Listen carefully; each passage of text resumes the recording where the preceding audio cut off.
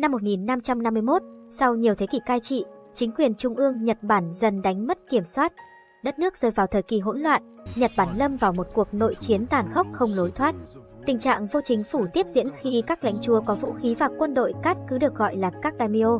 Họ tranh nhau quyền lực và lãnh thổ, đây được gọi là thời kỳ chiến quốc Nhật Bản diễn ra gần 200 năm.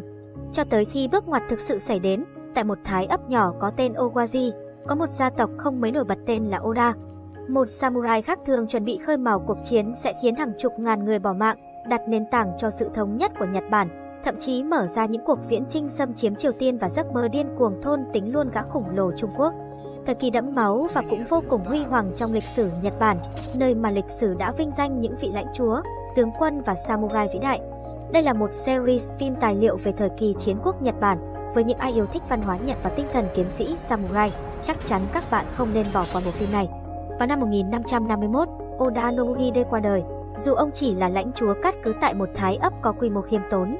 Thế nhưng sự ra đi của ông đã khiến gia tộc Oda lập tức rơi vào sự khủng hoảng và tan rã. Gia tộc Oda có thể coi là phiên bản thu nhỏ của cả thể chế chính trị Nhật Bản và xã hội Á Đông thời kỳ phong kiến. Bất kỳ khi một vị hoàng đế, một nhiếp chính tướng quân, một lãnh chúa ra đi bất ngờ luôn là thời khắc khủng hoảng nhất của mọi gia tộc và đất nước. Khoảng trống quyền lực của người tiền nhiệm để lại khiến thể chế phong kiến này dù ở quy mô to hay nhỏ, luôn trực chờ rơi vào khủng hoảng và chém giết lẫn nhau để tranh giành quyền lực. Chúng ta thường nghĩ gia tộc như một gia đình, nhưng đứng trước quyền lực và lợi ích. Anh giết em, các con giết cha, cháu giết chú. Muôn vàn âm mưu, sự phản chắc cho đến đầu rơi máu chảy của hàng ngàn sinh mạng bị cuốn vào quá trình tranh quyền đoạt vị. Thực tế lịch sử khốc liệt đó cũng lặp lại ở gia tộc Ora. Vấn đề của gia tộc này là họ quá nhỏ bé trước những kẻ thù lớn hơn rất nhiều, họ bắt buộc phải đưa ra định hướng chiến lược nếu không muốn bị xóa sổ tại nơi đây. Và trước sự ra đi bất ngờ của Oda Nobuhide, thì việc ông kế vị chức vị lãnh chúa của mình cho người con trai cả Oda Nobunaga còn khiến cả gia tộc này bàng hoàng hơn hết. Nobunaga được mô tả là một người bạo tàn và lỗ mãng, ông ta bị những người trong gia tộc của mình ghét bỏ vì nhiều lý do. Nhưng lý do hơn hết bởi ông ta có quá nhiều anh em và họ hàng, những người cho rằng họ sẽ làm tốt hơn một Nobunaga ngông cuồng và non dại. Ngay trong đám tang của cha mình thay vì làm theo lễ nghi truyền thống, thứ mà người Nhật Bản vô cùng xem trọng, ông đã ném bát hương vào bệ thờ và châm lửa hỏa thiêu xác cha mình. Hành động đó của ông có thể là một lời minh chứng cho tính cách ngông cuồng và một mình một kiểu, nhưng đồng thời nó cũng là sự thách thức trước tất cả những người hoài nghi về vai trò của ông trong gia tộc. Hành động đó của Nobunaga đã khiến rất nhiều người bất bình, trong đó nổi bật nhất có Hizate Masahide, người đã được định sẵn sẽ là quân sư trưởng của người kế tục. Nhưng ông ta đã thực hiện nghi thức seppuku để phản đối ngay sau khi Nobunaga chính thức nắm quyền. Đây cũng là một cách biểu tình phản đối Nobunaga theo cách cực đoan nhất. Ông dần nhận ra mình hoàn toàn cô độc trong một vùng đất giữ, mà vùng đất giữ ấy chính là gia đình. Thậm chí đến người vợ của ông là Nohime cũng đang âm mưu để làm hại ông ấy. Nohime vốn là con gái kẻ thù truyền kiếp của gia tộc Oda, họ đã kết hôn như một cách giao hòa giữa hai gia tộc, bà ấy đã được cài vào để do thám gia tộc Oda và giết Nobunaga nếu cần. Đây cũng là một mối nguy hại to lớn theo kiểu kết tình thông gia như thế này. Khi mà người đầu ấp tay gối lại là con gái hay con trai của kẻ thù truyền kiếp, Nohime đã thông đồng với em trai của Nobunaga là Nobuzuki để ám sát chồng. Ngược lại với anh mình thì Nobuzuki rất được lòng các thành viên trong gia tộc. Ông thay vì cục cằn và lỗ mãng như anh trai lại là người có tính khí vô cùng điềm đạm. Nhưng may cho Nobunaga, đó là một trong những người thuộc hạ trung thành của ông đã phát hiện ra âm mưu đảo chính. Ngay sau đó, Nobuzuki bị anh trai chém đầu dù cho đã van xin. Cành đậu lại nấu hạt đậu, điều này cũng thể hiện tính cách tàn bạo và không khoan nhượng của Nobunaga. Bây giờ các thế lực trong gia tộc của Nobunaga chỉ còn duy nhất một người đủ khả năng cản đường, đó là người em họ Nobukata đang làm chủ phía bắc thái ấp Owaji. Dưới quyền ông là khoảng 3.000 kiếm sĩ, mà một rừng thì không thể có hai hổ, nên cuộc nồi ra sáo thịt của họ là điều chắc chắn sẽ diễn ra. Hiện tại mỗi người đang sở hữu một nửa thái ấp Owaji, và cả hai đều rất muốn bành trướng và thống nhất thế lực cho riêng mình. Họ không chỉ tranh giành lãnh thổ hay lợi ích, điều họ tranh giành còn là ai sẽ là lãnh chúa của gia tộc Ora. Để phá vỡ thế bế tắc ấy, Nobunaga cần phát động một cuộc chiến. Nhưng để xâm lược thì quân đội của ông ấy cần phải có một binh đoàn các kiếm sĩ samurai. Trước kia samurai vốn dĩ không hề được trọng vọng như chúng ta đang biết. 800 năm trước, samurai là một danh từ đáng xấu hổ vì nó có nghĩa là tên đầy tớ. Sau này nhờ các cuộc chiến cho lãnh chúa, cũng như độc quyền về việc sở hữu vũ khí nên vị trí của họ trong xã hội mới được đề cao, dần ra họ trở thành một đẳng cấp trong xã hội phong kiến. Vũ khí mang tính biểu tượng nhất của họ chính là thanh kiếm katana. Họ là những chiến binh chuyên nghiệp và chẳng biết gì ngoài ăn và chiến đấu. Đó có lẽ là những võ sĩ vĩ đại và trung thành nhất được biết tới trong lịch sử của loài người. Nhưng Nobunaga đã nhận ra chiến tranh tại Nhật Bản đã dần rũ bỏ phong cách cũ. Quy mô các cuộc chiến đã lớn hơn mà số lượng các samurai không thể đáp ứng. Nếu muốn bành trướng thì quân đội của ông ta cần một cuộc cải cách. Chính vì thế Nobunaga đã tạo ra một đội quân chuyên nghiệp từ những người nông dân. Ông phá bỏ thế độc quyền trong việc sở hữu vũ khí, đưa dao kiếm và giáo mác cho các nông dân, huấn luyện họ thành những chiến binh và bất ngờ nhận ra những nông dân chân lấm tay bùn khi được tập hợp và trao vũ khí thì họ cũng đáng gờm và nguy hiểm không kém các samurai. Họ đã sống dưới ách thống trị của các samurai gần 400 năm và sống cuộc đời gần như là nô lệ. Bây giờ dưới quân đội của Nobunaga từ những kẻ tiện dân đã trở thành một đội quân vô cùng thiện chiến. Quả thật tầm nhìn đi trước thời đại của Nobunaga đã khiến tình thế bế tắc trong vài trăm năm dần đi đến hồi tàn cuộc. Theo mình thì đây cũng là lý do chính khiến Nobunaga bị khắc họa là bạo chúa, bởi lẽ ông đã đi ngược lại lợi ích của tầng lớp tinh hoa ăn trên hồi trước. Nobunaga được xem như là Alexander Đại Đế của người Nhật, trái ngược với sự coi thường của gia tộc thì ông thực sự là một thiên tài về quân sự và chiến lược. Ông trời đã vậy còn ủng hộ cho Nobunaga bằng cách đẩy các thuyền buôn của người Bồ Đào Nha vô tình trôi giạt lên lãnh thổ của ông kèm theo súng ống. Họ vốn dĩ định mang những chuyến hàng của mình đến buôn bán với Trung Hoa, nhưng định mệnh đã gọi tên Nobunaga lần nữa. Dù cho súng hỏa mai lúc này nạp đạn rất lâu và chưa được đưa vào chiến tranh thực tế, nhưng con hàng Nobunaga đã nhìn thấy tiềm năng của lũ chó lửa này. Để đánh bại một kẻ thù lớn hơn thì ông cần chắc chiêu mọi lợi thế, vì vậy Nobunaga đã bỏ rất nhiều tiền để trang bị súng ống cho đội quân của mình. Ông là một người cực kỳ cởi mở với vô vàn ý tưởng đột phá. Việc áp dụng súng hỏa mai vào chiến tranh đã thay đổi cách thức chiến đấu của Nhật Bản mãi mãi. Giờ vàng đã điểm, Nobunaga phát động cuộc xâm lược để thống nhất toàn cõi Owaji. Mặc dù trước đó ông chưa từng có kinh nghiệm gì về trận mạc, cũng chưa từng được đánh giá về khả năng quân sự, nhất là trước một đối thủ sừng sỏ như Nobukata. Đội quân của Nobukata được trang bị áo giáp tốt hơn, gần như toàn bộ họ là các samurai chuyên nghiệp. Nhìn về đám tiện dân ô hợp thì việc Nobunaga phát động chiến tranh quả là một món quà từ thượng đế. Thế nhưng khi đội quân của Nobukata áp sát khoảng còn 100 mét và rơi đúng vào tử địa, cũng là lúc mà các kiếm sĩ với mảnh giáp và chuyên nghiệp tới đâu cũng phải gục ngã. Yếu điểm chết người của súng hỏa mai là nạp đạn rất lâu, vì thế cuộc chiến thực sự diễn ra khi họ lao vào cận chiến. Đối đầu với đám nông dân mà các samurai luôn coi thường và khinh bỉ, họ không thể ngờ sức mạnh khi những kẻ tiện dân này chiến đấu với sức mạnh sẵn sàng bất chấp tất cả và không còn gì để mất. Cùng lúc ấy hòn đạn xé không trung, đội quân của Nobuzuki cứ thế từng hàng gục ngã. Đứng trước những yếu tố bất ngờ và đột phá, chỉ sau 3 tiếng thì đội quân của Nobuzuki cũng phải rút về thành tại phía bắc Owaji để chống lại sự vây hãm. Thế nhưng lay lắt được hai tháng cuối cùng họ cũng thất thủ, kết cục không bất ngờ, Nobukata bị giết.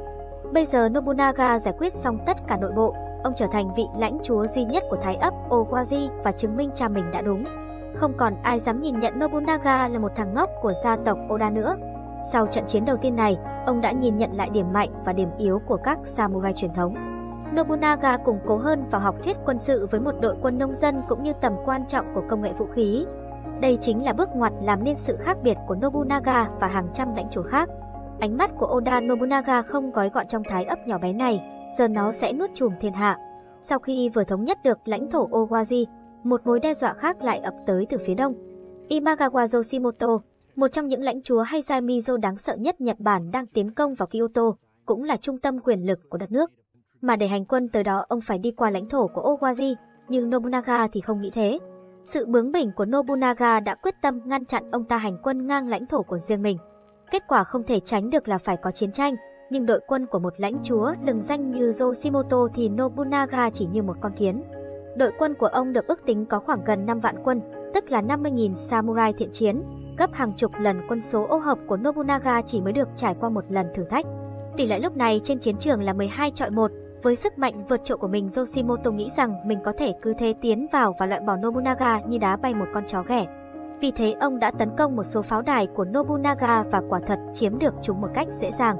Vị samurai trẻ mà ông cử đi có tên Tokugawa Ieyasu, các bạn hãy nhớ cái tên này vì ông ấy cũng là một nhân vật vô cùng quan trọng. Ieyasu là một người có tầm nhìn chiến lược xuất chúng. Hiện tại ông đang dưới trướng của Yashimoto, nhưng Ieyasu cũng vô cùng tham vọng và biết tương lai mình có thể rộng mở hơn nhiều. Các tướng lĩnh của Nobunaga đều khuyên ông nên trốn đi và cố thủ ở một tòa thành kiên cố, nhưng Nobunaga nói đéo vì ông rất giỏi khiến người khác bất ngờ.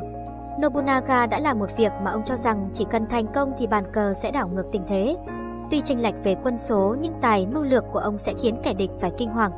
Nắm bắt rất rõ địa hình và thủy thổ cộng với tin tức tình báo của những người nông dân trên toàn Thái ấp, ông nắm rõ thông tin tình hình của quân địch. Động thái của kẻ thù, chúng đang ăn hay đang ẻ, nơi chúng dựng trại hay đang định làm gì. Đội quân do thám của ông lần này đã phát hiện nơi Yoshimoto dựng trại với chỉ khoảng 5.000 lính, tức là toàn bộ quân số của ông ta giải rác ở những nơi khác. Nobunaga lập tức tóm lấy cơ hội này, nếu thủ lĩnh của đội quân này bị kết liễu thì lập tức chúng sẽ hoảng loạn và tan tác. Chiến lược của ông vốn không phải là đánh bại họ mà việc do thám chỉ nhằm mục đích tìm và giết Yoshimoto.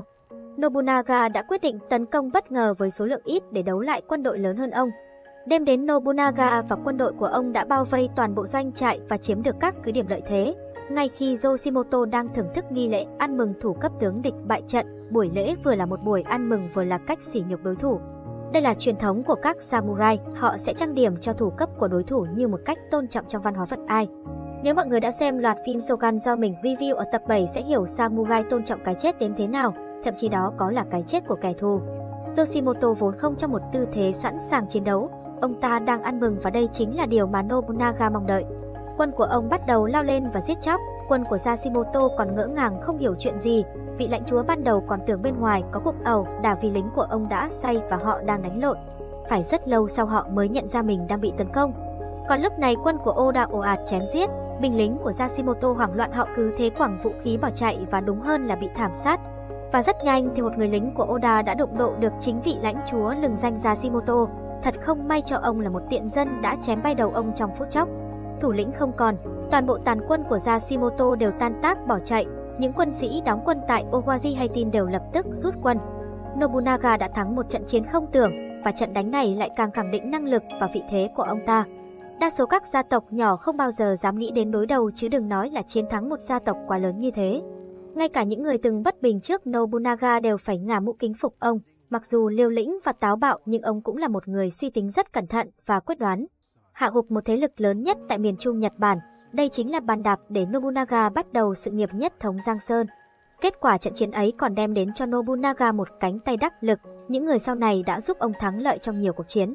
Chính tại trận chiến Okehamaza, Nobunaga đã nhận thấy tài năng của một người lính trẻ xuất phát từ tầng lớp tiện dân, tên ông ấy chính là Toyotomi Hideyoshi. Người lính với xuất thân từ nông dân này đã thực sự khiến Nobunaga chú ý. Ông ấy không chỉ xuất sắc trong kỹ năng chiến đấu giáp lá cả mà còn có khả năng tổ chức và chỉ huy xuất chúng. Hideyoshi sau trận chiến này đã được thăng cấp và sau này trở thành một trong những vị tướng xuất sắc và tận tụy trung thành bậc nhất của Nobunaga. Người mà sau này sẽ nối tiếp giấc mơ của Nobunaga và mở ra giấc mộng xâm lược Trung Quốc. Ngoài ra còn xuất hiện một đồng minh quan trọng khác của Nobunaga sau trận chiến, nhưng mối quan hệ của họ rất khác so với mối quan hệ giữa Nobunaga và Hideyoshi. Đó không ai khác chính là Tokugawa Ieyasu. Khi còn bé ông đã bị chính cha mình gài làm con tin vào gia tộc Imagawa của Yashimoto. Ieyasu được nuôi dạy với mục đích phục vụ cho gia tộc Imagawa nhưng giờ thì thủ lĩnh của họ đã chết. Cuối cùng chàng trai trẻ đã quyết định liên minh với người đã đánh bại chủ cũ của mình. Việc Ieyasu thay đổi lòng trung thành chóng vánh cho thấy lòng người rất dễ thay đổi trong thời chiến quốc. Luật lệ và danh dự không còn, đó là trận chiến bằng mọi cách để thống trị Giang Sơn Nhật Bản về chung một cõi. Trận chiến Okehamaza vô cùng quan trọng trong lịch sử Nhật Bản, vì đây là lần đầu tiên ba người đàn ông có sức ảnh hưởng lớn nhất đến toàn bộ lịch sử Nhật Bản. Nhờ sự mai mối của định mệnh thì họ đều đã gặp nhau. Các bạn hãy nhớ đến ba cái tên này, ba cái tên có tầm quan trọng nhất định hình nên lịch sử Nhật Bản. Oda Nobunaga, Toyotomi Hideyoshi, Tokugawa Ieyasu. Có hai đồng minh đắc lực, Nobunaga mở ra hàng loạt chiến dịch đẫm máu để mở rộng và tiêu diệt các đối thủ của ông. Nhiều vùng đất lúc này đã nằm dưới ngọn cờ của ông. Sau đó, Nobunaga mạnh dạn tiến về Kyoto là kinh đô của đất nước. Từ đây vị bạo chúa đặt bàn chân đầu tiên chạm lên giấc mơ bá chủ toàn cõi Nhật Bản. Nhưng hiện tại vẫn còn rất nhiều lãnh chúa daimyo khác vẫn hiện diện ở phía Tây và phía Bắc. Họ đe dọa quyền lực của Nobunaga và chẳng coi ông ta ra gì. Và những ai dám chống lại Nobunaga sẽ được nếm lưỡi gươm đầy giận dữ và nếm trải trái đắng của ông ta. Sau này lịch sử nói rằng Nobunaga là một tên bạo chúa, nhưng đúng thật chỉ có kiểu người như vậy mới khơi mào được sự thống nhất trong một lãnh thổ quá nhiều phân cực. Tất cả các lãnh chúa đều biết ý đồ của Nobunaga và họ không vui vẻ với dã tâm ấy. Và đây mới là lúc trận chiến thực sự của Nhật Bản chính thức bắt đầu. 10 năm sau cuộc chiến tranh giành quyền lực ở Thái ấp Owari nhỏ é, năm 1568 Oda Nobunaga đã chiếm hết phần lớn miền Trung Nhật Bản, bao gồm cả Kyoto là kinh đô của đất nước. Bây giờ Nobunaga phóng con mắt tuệ của mình đến lãnh thổ của những thế lực khác để lần đầu tiên trong hơn 100 năm nội chiến dai dẳng có thể thống nhất Nhật Bản dưới một ngọn cờ. Thế nhưng cũng chính sự tàn bạo của ông đã gây ra sự phẫn uất, trên khắp đất nước những kẻ thù hùng mạnh đều tìm cơ hội để diệt trừ ông. Tất cả đều biết Nobunaga là một con người tham vọng và lão sẽ dùng những cách tàn bạo nhất để chinh phục họ. Dĩ nhiên là không có lãnh chúa nào để yên cho Nobunaga bành trướng. Lần này vị lãnh chúa đã đối mặt với một kẻ thù khá khó chịu, và kẻ thù đó mang tên Phật giáo. Chúng ta cần biết Phật giáo ở Nhật Bản là một trường hợp khá đặc biệt, họ đã đến Nhật Bản trước khi cả đất nước này hình thành chế độ quan liêu tập trung. Tổ chức của nó bén rễ và ăn sâu vào kết cấu chính trị Nhật Bản. Họ thậm chí còn có quân đội riêng, các lãnh chúa sư thầy kết hôn cưới vợ và sống cuộc đời như những ông hoàng bà chúa. Nhật Bản theo Phật giáo Đại Thừa hay còn được gọi là Phật giáo Bắc Tông. Khi mình nói điều này có lẽ sẽ gây tranh cãi vì nó sẽ động chạm đến rất nhiều Phật tử. Nhưng sự thật thì Phật giáo Bắc Tông là một phiên bản mở rộng của Phật giáo chính thống hay Phật giáo Nguyên Thủy. Các bộ kinh điển của nó chưa bao giờ được các sử gia và nhà nghiên cứu thế giới công nhận là do chính Đức Phật lịch sử thuyết giảng. Chúng xuất hiện vào khoảng 500 năm sau khi Đức Phật qua đời. Có rất nhiều bộ kinh được viết ra vào thời kỳ này pha trộn với tín ngưỡng đa thần của Hindu giáo. Vì Phật giáo nguyên thủy của Đức Phật lịch sử gạt bỏ đi lợi ích của tầng lớp tăng lữ Bà La Môn tại Ấn Độ, nó là một lối sống vô thần xoay quanh con người và lấy con người làm trọng tâm không cần phải cầu khẩn bất kỳ một vị tối thượng đẳng thần hay giai cấp tế tự nào. Hạnh phúc hay khổ đau là do chính mỗi người trong chúng ta quyết định. Chính vì xung đột lợi ích với tầng lớp tăng lữ bà La Môn vốn được hưởng quá nhiều đặc quyền trong xã hội. Mỗi khi một đứa trẻ sinh ra hay có đám ma, đám cưới, mua nhà thậm chí châu bò đẻ đều cần phải thỉnh mời các vị tăng lữ bà La Môn này đến cầu kinh phù hộ. Họ bám chặt vào đời sống của một con người từ khi sinh ra cho tới khi người ta chết. Ở chỗ mình thì có cái phép thỉnh linh thức, nhà thỉnh linh thức rời cái bào thai đấy thì lúc ấy mình đi mình nào mình mình hút thì nó lại không mang cái cái tội mình phá thai nghe không? Đấy cái đấy là cái đặc biệt. Thế thì nếu không có linh thức thì nó chỉ là cục máu thôi nghe không? cũng giống như phật tử nữ ấy và người nữ hàng tháng đều phải bỏ máu. Cái chuyện đấy là bình thường. Khi Phật giáo mới ra đời nếu nhìn trên phương diện xã hội học, nó có thể coi là một cuộc cách mạng về tư tưởng, và giống như Chúa Jesus thì Đức Phật cũng chịu sự công kích từ những kẻ thù cựu. Chúng không chỉ dùng lời nói mà còn bằng cả hành động ám sát nhằm đến Đức Phật. Nhưng Phật giáo khi mới ra đời là một phong trào lớn mạnh, thứ nhất đó là bởi đời sống đức hạnh của chính Đức Phật và các vị đại đệ tử của Ngài. Thứ hai Đức Phật có xuất thân là một thế tử nên Ngài còn được sự ủng hộ của tầng lớp vua chúa phong kiến Ấn Độ. Thế nhưng sau khi Đức Phật qua đời khoảng 500 năm, phong trào Phật giáo này đã suy yếu theo nhiều cách, và một trong số ấy đó chính là việc các tăng lữ của Ấn giáo đã đóng giả thành các vị sư, trà trộn vào tăng đoàn của Phật giáo. Thực chất họ đều là những luận gia Hindu uyên thâm về học vấn, các bộ kinh điển đại thừa cũng được ra đời vào thời điểm này. Nó đã mang màu sắc thần bí của Hindu pha lẫn vào giáo lý của Phật giáo. Gạt phăng đi một đức Phật lịch sử theo họ là tầm thường, các luận gia này đã mang hệ thống thần linh của mình vào với những tên gọi khác. Chính vì vậy các Phật tử bắt đầu quên mất mục đích tu sửa bản thân, họ dần chú trọng vào lễ nghi và thờ phụng số khác ít cực đoan hơn thì xa đà vào tranh luận thần học siêu hình. Tất cả bọn họ đã quên mất mục đích chính của Phật giáo là sống một cuộc đời tỉnh thức tự thân đầy trí tuệ. Bởi nguyên cớ này nên Phật giáo thực tế đã biến mất khỏi Ấn Độ dù vùng đất này đã khai sinh ra nó. Cuối cùng người dân Ấn Độ tiếp tục trở về vòng xoáy cai trị của mê tín dị đoan và các đẳng cấp thần linh do Hindu áp đặt. Trong tất cả những sự cải biên của phong trào đại thừa ấy, một trong số đó là tông phái Tịnh Độ Chân Tông, nơi mà họ cho rằng chỉ cần niệm danh hiệu của vị Phật A-di-đà trong cõi nước tịnh độ là có thể vãng sinh về thế giới cực lạc. Điều này phủ nhận và phần nào đi ngược lại với nhân quả và tinh thần nỗ lực tự thân của chính Đức Phật lịch sử. Chính vì vậy họ đã không thèm giữ giới luật, tích trữ tài sản và quyền lực, hưởng thụ ngũ dục, thậm chí còn thù thắng hơn cả người đời. Những lời nói dối này đã được lặp đi lặp lại hàng ngàn năm, sau khi truyền bá qua Trung Quốc và Tây Tạng nó lan dần sang các nước châu Á như Việt Nam, Hàn Quốc và Nhật Bản. Thực tế Phật giáo Việt Nam đã tiếp nhận trực tiếp từ Ấn Độ bởi vị sư Khương Tăng Hội, là một người con lai giữa cha là người thương buôn Ấn Độ và mẹ là người Việt. Ông mới thực sự là người đầu tiên mang Phật giáo vào Việt Nam và nó đã bám sát vào tinh thần nguyên sơ của Đức Phật. Chính hơi thở đó đã tác động lên cả nền tư tưởng và triết học xưa kia của người Việt cổ. Vào thời Đinh Lý Trần thì Phật giáo trở thành quốc giáo của Việt Nam, tạo ra các nhánh phái thiền với đời sống tu hành khá nghiêm chỉnh. Nổi bật trong số ấy đó là hình ảnh một vị vua sau khi an bang trị quốc ông đã bỏ lên núi Yên Tử để tu hành. Người đó không ai khác chính là Phật Hoàng Trần Nhân Tông. Thế nhưng sau này bởi áp đặt chính trị từ phương Bắc nên Phật giáo Việt Nam cũng chịu nhiều tác động. Tới thời quốc sư Ngọc Lâm vốn là một người Mãn Châu, chịu ảnh hưởng bởi văn hóa thần linh của đạo Bon Tây Tạng, ông đã xây dựng hệ thống các bài kinh nhật tụng trong thiền viện mà phần lớn nó đều là các bài thần chú. Bỏ quên việc quay trở về tu chỉnh nội tâm thì các nhánh phái Việt Nam cũng dần sa đà vào lễ nghi và chú tụng. Sau này thì nho giáo chiếm ưu thế về cơ cấu quản lý chính quyền nên nó dần thế chỗ cho Phật giáo tại Việt Nam. Bởi thời xưa quá trình tiếp nhận thông tin bị chậm trễ và việc đối chiếu khó khăn. Nhưng đến bây giờ người ta rất sợ hãi khi nói về tính chính danh cũng như nghiên cứu về mặt học thuật của vấn đề này. Quay trở lại Nhật Bản, nhánh phái Iko Iki hay tịnh độ chân tông chính là một phiên bản cải biên đến mức biến dạng như thế. Lý do khiến tông phái này phát triển mạnh mẽ bởi nó vô cùng đơn giản phù hợp với tầng lớp bình dân. Nó chỉ có một yêu cầu đó là tín đồ đặt niềm tin vào Đức Phật A-di-đà và lặp đi lặp lại lời khẩu hiệu Nam Mô A-di-đà Phật. Và cũng chỉ có từng đó thôi, nó chính là tông phái đã khiến lãnh chúa Oda Nobunaga phải điên đầu. Ông đang phải đối mặt với một đội quân Phật giáo với đầy đủ dao gươm, súng ống và sát thủ. Người ta nói rằng Oda Nobunaga là một tên bạo chúa khi phá hoại Phật giáo, nhưng thực tế ông ấy không đối mặt với những vị sư tu hành nghiêm chỉnh mà là những tên lãnh chúa chọc đầu. Thậm chí họ được hứa hẹn là sau khi chiến thắng kẻ thù sẽ được vãng sinh về thế giới cực lạc. Vậy nên đội quân này cực kỳ lì lợm, họ là một trong những kiếp nạn khổ sở nhất, cũng là nguyên nhân gián tiếp dẫn đến cái chết của Nobunaga. Đám sát thủ trong loạt phim Shogun đến từ giáo phái Amida chính là đến từ tông phái tịnh độ chân tông Iko Iki này. Nhờ vào việc ảnh hưởng đến phần đông quần chúng nông dân, cộng với việc bám rễ vào hệ thống chính trị, những lãnh chúa sư thầy là lực lượng đầu tiên chống trả lại Nobunaga. Lực lượng của họ bao gồm các tu sĩ và nông dân. Bọn họ đang chiếm ở những vị trí chiến lược mà nếu muốn kiểm soát miền Trung Nhật Bản thì kiểu gì Nobunaga cũng sẽ phải đối đầu với họ một mất một còn. Vị tướng được ông cử đi là Akechi Mitsuhide, người được cho cũng là một Phật tử thuần thành. Khi Nobunaga tiến đánh Ikoiki thì vị lãnh chúa đã nhắm tới việc tận diệt họ tận gốc và tàn sát bất cứ ai dám cản đường.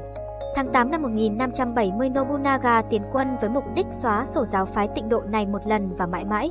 Sau khi nghiền nát một số ngôi chùa nhưng thực chất là các pháo đài kiên cố, Nobunaga đã quyết định đánh vào trung tâm Phật giáo Nhật Bản đó là quần thể chùa chiền Enji Akuchi. Nơi đây là quần thể Phật giáo có ảnh hưởng chính trị lớn nhất tại Nhật Bản. Thậm chí các lãnh chúa sư thầy chẳng khác gì những đại lãnh chúa vĩ đại nhất và có quan hệ mật thiết với triều đình. Chúng nói rằng mặc dù việc sát sinh là đi ngược lại với giới luật của Đức Phật, thế nhưng khi qua đời chúng có thể niệm danh hiệu Phật A-di-đà là sẽ được Ngài tiếp dẫn. Sự khó chịu của giáo phái này khi họ đã mở rộng cửa các pháo đài chùa chiền của mình cho kẻ thù của Nobunaga ẩn náu. Hơn nữa vị trí của họ nằm ở phía trên Kyoto, một vị trí trọng điểm chiến lược khi nó đúng nghĩa là nhìn từ phía trên xuống kinh thành. Vậy nên cuộc đối đầu này cũng là sự tồn vong của gia tộc Oda. Tháng 9 năm 1571, vị lãnh chúa đã tập hợp một đội quân hùng hậu với tầm cỡ như để đánh một trận sống mái chống lại kẻ địch hùng mạnh. Đợt tiến công của Nobunaga khiến đa phần Phật tử phải tháo chạy lên đỉnh núi Hie nơi quần thể tu viện Enjiakuchi ngự trị. Ông đã lệnh cho binh lính hành quân theo hàng dọc và giết bất cứ ai mà họ gặp. Trong thời chiến quốc này thực ra phe phái nào cũng tàn bạo như nhau, nhưng trận đánh nhắm vào quần thể chùa triển Enjiakuchi thực sự nằm ở một mức độ khác. Tư liệu lịch sử ghi lại quân lính của Nobunaga điên cuồng chém giết như một lũ thú hoang. Không khó khăn để bọn họ có thể tràn lên tới đỉnh núi nơi mà ngôi chính điện ngự trị. Nobunaga đã đưa ra một tối hậu thư với các tu sĩ của tịnh độ chân tông, hoặc là họ sẽ nghe lời hay là tiếp tục chống đối và bị tiêu diệt. Cuối cùng họ đã chọn cách số hay và toàn thể ngôi chùa đã bị thiêu rụi. Người ta nói rằng quần thể chùa trên này to tới nỗi người dân ở tít tận Kyoto khi ngước lên bầu trời vẫn có thể thấy khói và ánh lửa rực sáng từ đám cháy. Sau cùng quân đội của Nobunaga săn lùng và thảm sát hết tất cả những người thoát thân khỏi vụ hỏa hoạn. Trong sự kiện tàn bạo và thảm khốc này thậm chí đã khiến một số tướng lãnh trung thành nhất của Nobunaga cảm thấy phẫn uất. Người đó không ai khác chính là Akechi Mitsuhide, cũng kể từ giây phút đó ông đã thực sự nghi ngờ sâu sắc khả năng lãnh đạo của Nobunaga. Đây là một thông điệp không thể rõ ràng hơn gửi tới các tông phái khác của Phật giáo. Nó cũng là một lời nhắn tới các vị lãnh chúa rằng Nobunaga sẽ đạp đổ hết mọi giới hạn nếu ai cản đường. Trong cuộc chiến và pháo đài chùa chiến đó người ta ước tính Nobunaga đã giết tới 20.000 Phật tử. Thực tế trận chiến đó đã diễn ra trong hơn 11 năm trời mà không thể bình định. Họ đã gây ra sự tổn thất đáng kể cho vị lãnh chúa. Mãi đến năm 1580 thì ngôi chùa trung tâm của tịnh độ chân tông mới chịu quy hàng. Sau này Ieyasu và ngay cả Hideyoshi vẫn phải đụng độ với họ. Năm 1583 thì Hideyoshi đập pháo đài chùa chiến cũ của tịnh độ và xây tòa thành Osaka nổi tiếng tọa lạc ngay phía trên nền ngôi chùa đó. Quay trở lại với Nobunaga, không chỉ những tông phái Phật giáo bị sốc bởi hành động của ông ấy, rất nhiều vị đại lãnh chúa giờ đây thực sự tin rằng Nobunaga là một tên bạo chúa cần phải tiêu diệt. Tuy nhiên không phải ai cũng có đủ năng lực để thực hiện điều đó. Một trong số ấy phải kể đến con hổ xứ Kai, một trong những lực lượng quân sự hùng hậu nhất ở thời của Oda Nobunaga. Người đó chính là Takeda Shingen, ông là đại lãnh chúa của tỉnh Kai nằm ở miền Trung Nhật Bản. Con người của vị lãnh chúa này khá phức tạp, ông trừng trị một số tội nhân bằng hình thức luộc sống. Mặt khác thì ông cũng tự nhận mình là một Phật tử thuần thành. Điều đáng quan tâm nhất là ông ta thống lĩnh một đội quân đáng gờm, nếu có ai có đủ khả năng ngăn chặn Nobunaga thì đó chính là vị đại lãnh chúa này. Thế hệ Uesui Kenshin, Takeda Shingen cùng Yoshimoto là tiền bối của Oda Nobunaga. Cùng với Uesui Kenshin người được mệnh danh là vị thần chiến tranh của Nhật Bản, Takeda Shingen cũng nổi tiếng với tài thao lược bách chiến bách thắng. Và sự thật đó đã được chứng minh từ việc ông đã nghiền nát liên minh của Oda Nobunaga và Tokugawa Ieyasu. Sau sự kiện tại ngôi chùa Enji Akuchi, Takeda Shingen nhận ra mình cần phải tiêu diệt tên nhóc hôi Nobunaga, lý do chính bởi vì Oda Nobunaga là người thực sự có khả năng đe dọa đến tầm ảnh hưởng của ông ấy. Khi này về mặt địa lý Ieyasu bị kẹt giữa hai vị đại lãnh chúa này, sau trận Okehamaza ông đã trở thành đồng minh của Nobunaga, vì vậy Shingen sẽ phải tiến đánh Ieyasu trước rồi mới có thể chuyển qua Nobunaga. Đây là một chiến dịch trường kỳ để Shingen có thể tiến đến Kyoto là kinh đô của đất nước. Ieyasu đã gửi thư cầu cứu tới Nobunaga nhưng hiện tại ông vẫn bị xa lầy bởi các cuộc du kích từ nhánh phái tịnh độ chân tông. Gần như toàn bộ quân đội của Nobunaga đã phải tham chiến để bình định họ. Cuối cùng ông chỉ có thể gửi 3.000 quân tới tiếp viện cho Ieyasu. Ieyasu cũng không thể để mất mặt với đồng minh của mình, vì vậy ông đã ra lệnh cho quân đội nghênh chiến Shingen. Dù bị áp đảo về số lượng nhưng Ieyasu vẫn tấn công, kết quả không bất ngờ là đội quân của Ieyasu bị nghiền nát và đại bại. Thương tiếc và cay cú điên cuồng Ieyasu tiếp tục chiến đấu cho tới khi các tôi chung của ông phải kéo ông về. Đối với Ieyasu mà nói thì đây là một thất bại rất ê chề. Ông đã thử bắt chước Nobunaga lấy một đội quân ít để địch lại quân thú đông hơn và cuối cùng đã thua trắng giái. Trận thua khiến nhuệ khí của Ieyasu suy giảm trầm trọng, sau đó Shingen liên tục tấn công Ieyasu. Lịch sử ghi nhận Ieyasu đã chán nản và bất lực đến mức chẳng thèm xua quân ra bảo vệ các pháo đài, quân thù cứ thế lấn tới như tầm ăn dâu, hiện tại Takeda Shingen hoàn toàn có thể kết liễu Ieyasu bất cứ lúc nào. Thế nhưng may mắn lại mỉm cười với liên quân của Oda Nobunaga và Ieyasu một lần nữa. Bất ngờ thay khi đang tận hưởng thời kỳ huy hoàng và đỉnh cao của sự nghiệp, Takeda Shingen đổ bệnh và qua đời. Có rất nhiều chữ nếu như được đặt ra ở dấu mốc sự kiện này, nhưng dù sao người thở phào nhẹ nhõm đầu tiên chính là Ieyasu. Trước khi qua đời Shingen đã căn dặn các thuộc hạ phải án binh bất động và giấu kín cái chết của mình trong vòng 3 năm. Điều ấy nhằm mục đích giúp cho kế tử của ông là Takeda Katsuzoji có thời gian củng cố việc nắm giữ Thái ấp cai. Con trai của Shingen cũng được đánh giá là một người rất vũ dũng và quả cảm. Vấn đề của anh ta đó là không có sự tín nhiệm và ủng hộ từ các vị tướng cấp cao trong hàng ngũ của cha mình. Họ đã vào sinh ra tử lập nhiều chiến công hiển hách cùng với Shingen. Chúng ta có thể hiểu Katsuzoji phải đối mặt với cái bóng quá lớn từ cha mình. Đây cũng là một nguyên nhân chính khiến anh ta đã không đủ nhẫn nại và phát động chiến dịch tấn công liên quân Oda và Tokugawa. Nghe thấy tin cấp báo về lực lượng của quân địch khiến Ieyasu vừa thở phào nhẹ nhõm lại ngay lập tức ngồi trên đống lửa. Ieyasu hiểu rõ tình hình nghiêm trọng lúc này, nếu ông ta không ngăn chặn được cuộc tấn công này thì nó sẽ là dấu chấm hết cho gia tộc Tokugawa và họ sẽ đá bay ông ra khỏi cuộc chơi mang tên chiến quốc. Chính vì thế Ieyasu đã gửi tin cấp báo cho Nobunaga. Chúng ta cần biết Ieyasu là một chư hầu đáng tin cậy của Nobunaga. Ông đã vào sinh ra tử cùng vị lãnh chúa này và tuyệt đối trung thành khi họ là đồng minh. Thế nên Ieyasu đã gửi một bức thư có phần đe dọa và trách móc, nói rằng ta đã sát cánh bên ngươi trong vô vàn chiến dịch. Nếu như nhà ngươi không gửi quân tới tiếp viện thì ta sẽ quay sang đồng minh với kẻ thù và cùng họ tiến về lãnh thổ của nhà ngươi. Dám nói một điều như thế với Oda Nobunaga thì đúng quả thật là táo bạo, nhưng Nobunaga cũng biết rằng nếu như ông để thua khi đối đầu với nhà Takeda, đây sẽ là dấu mốc ảnh hưởng tới hình ảnh bách chiến bách thắng của nhà Oda. Rất nhiều gia tộc khác sẽ nổi dậy và tấn công Nobunaga, đe dọa đến sự cai trị và tầm ảnh hưởng của ông ấy. Chính vì thế Nobunaga đã gửi một lá thư phúc đáp hứa sẽ giúp đỡ cùng với tiền vàng về cho Ieyasu. Tháng 6 năm 1575 Nobunaga và Ieyasu hợp lực, họ cùng nhau hội quân tại đồng bằng Shitazaka Haza để nghênh chiến Takeda Katsuzoji. Trước ngày trận chiến nổ ra Nobunaga đã tiến hành một loạt kế sách táo bạo. Cái vũ dũng của vị đại lãnh chúa này nằm ở chỗ đó là ông ta là một người rất chịu khó học hỏi và thấu hiểu đối thủ của mình. Dù đánh với bất kỳ kẻ địch nào thì ông cũng có sự chuẩn bị cực tốt. Về mặt quân sự nhà Takeda nổi tiếng với binh kỵ và tốc độ tấn công chớp nhoáng. Họ có thể tổ chức và dịch chuyển lực lượng của mình cực nhanh, đó là điều có thể gây tổn thất nặng nề cho kẻ thù nếu như họ không có sự phòng bị. Để ngăn chặn điều đó, Nobunaga đã cho dựng hàng loạt những hàng rào gỗ để giảm tốc độ tấn công của quân địch, và một khi chúng bị cầm chân tại đây thì nơi đó cũng chính là tử địa, nơi mà hàng loạt các tay súng cũng như cung thủ đã chờ sẵn. Lại nói đến súng hỏa may và tốc độ nạp đạn chậm của nó, Thế nhưng Nobunaga chính là người đã phát minh ra chiến thuật bắn xoay vòng, đi cùng các tay súng sẽ là ba cung thủ. Trong lúc súng hỏa mai đang nạp đạn thì các cung thủ sẽ tấn công. Đằng sau họ còn có các bộ binh với thương dài để chọc kỵ binh ngã khỏi ngựa. Thực sự tài mưu lược của Nobunaga đã đưa việc sử dụng súng hỏa mai vào thực chiến lên một tầm cao mới. Quan trọng nhất của loại công nghệ vũ khí này đó chính là tính bất ngờ và đột phá. Chiến thuật bên Takeda đó là họ sẽ đi vòng qua chướng ngại và đánh thọc sườn đối thủ. Vấn đề của nhà Takeda là họ đã quá chủ quan khi nghĩ rằng từng dễ dàng chiến thắng Ieyasu thế nên trận đánh này cũng vậy. Katsuzoji ra lệnh cho quân lính của mình xông lên. Vẫn đầy tự tin như mọi khi nhưng chưa chạm tới quân địch thì họ đã bị súng hỏa mai găm đạn đầy người, tiếp tới là cung tên như mưa của kẻ địch. Khi vượt qua được hai chướng ngại này liền bị chặn lại bởi một đống cọc gỗ, tiến không thể tiến mà lùi không thể lùi vì đằng sau chỉ huy đang ra lệnh tiến công. Mắc kẹt ở trong tử địa này, quân thù thì bùa vây ra từ tứ phía với giáo mác. Trong khi đạn bắn ngày càng rát hơn và mũi tên thì càng gần càng dễ trúng đích. Tả hữu ngang dọc xung quanh đồng đội đều bị ăn đạn. Cách duy để tiếp cận kẻ thù đó là vượt qua các chướng ngại rồi áp sát kẻ thù đánh giáp là cả. Thế nhưng một khi chạm mặt được họ thì cũng là lúc các đội quân này bị dồn vào tử địa. Katsuzoji điên cuồng xua quân lính xông lên hết lớp này đến lớp khác. Quân của nhà ta Takeda bị nghiền nát và băm thành từng mảnh. Họ đánh mất đi lợi thế về sự cơ động cũng như vũ bão. Điều này chứng tỏ chiến thuật của Nobunaga đã đúng khi lùa quân thù vào tử địa rồi giữ chặt chúng tại đây. Tới lúc này Katsuzoji vẫn chưa chịu từ bỏ, ông ta cử thêm 6-7 lần tiến công nữa và nó khiến cho quân đội của nhà Takeda tan tác.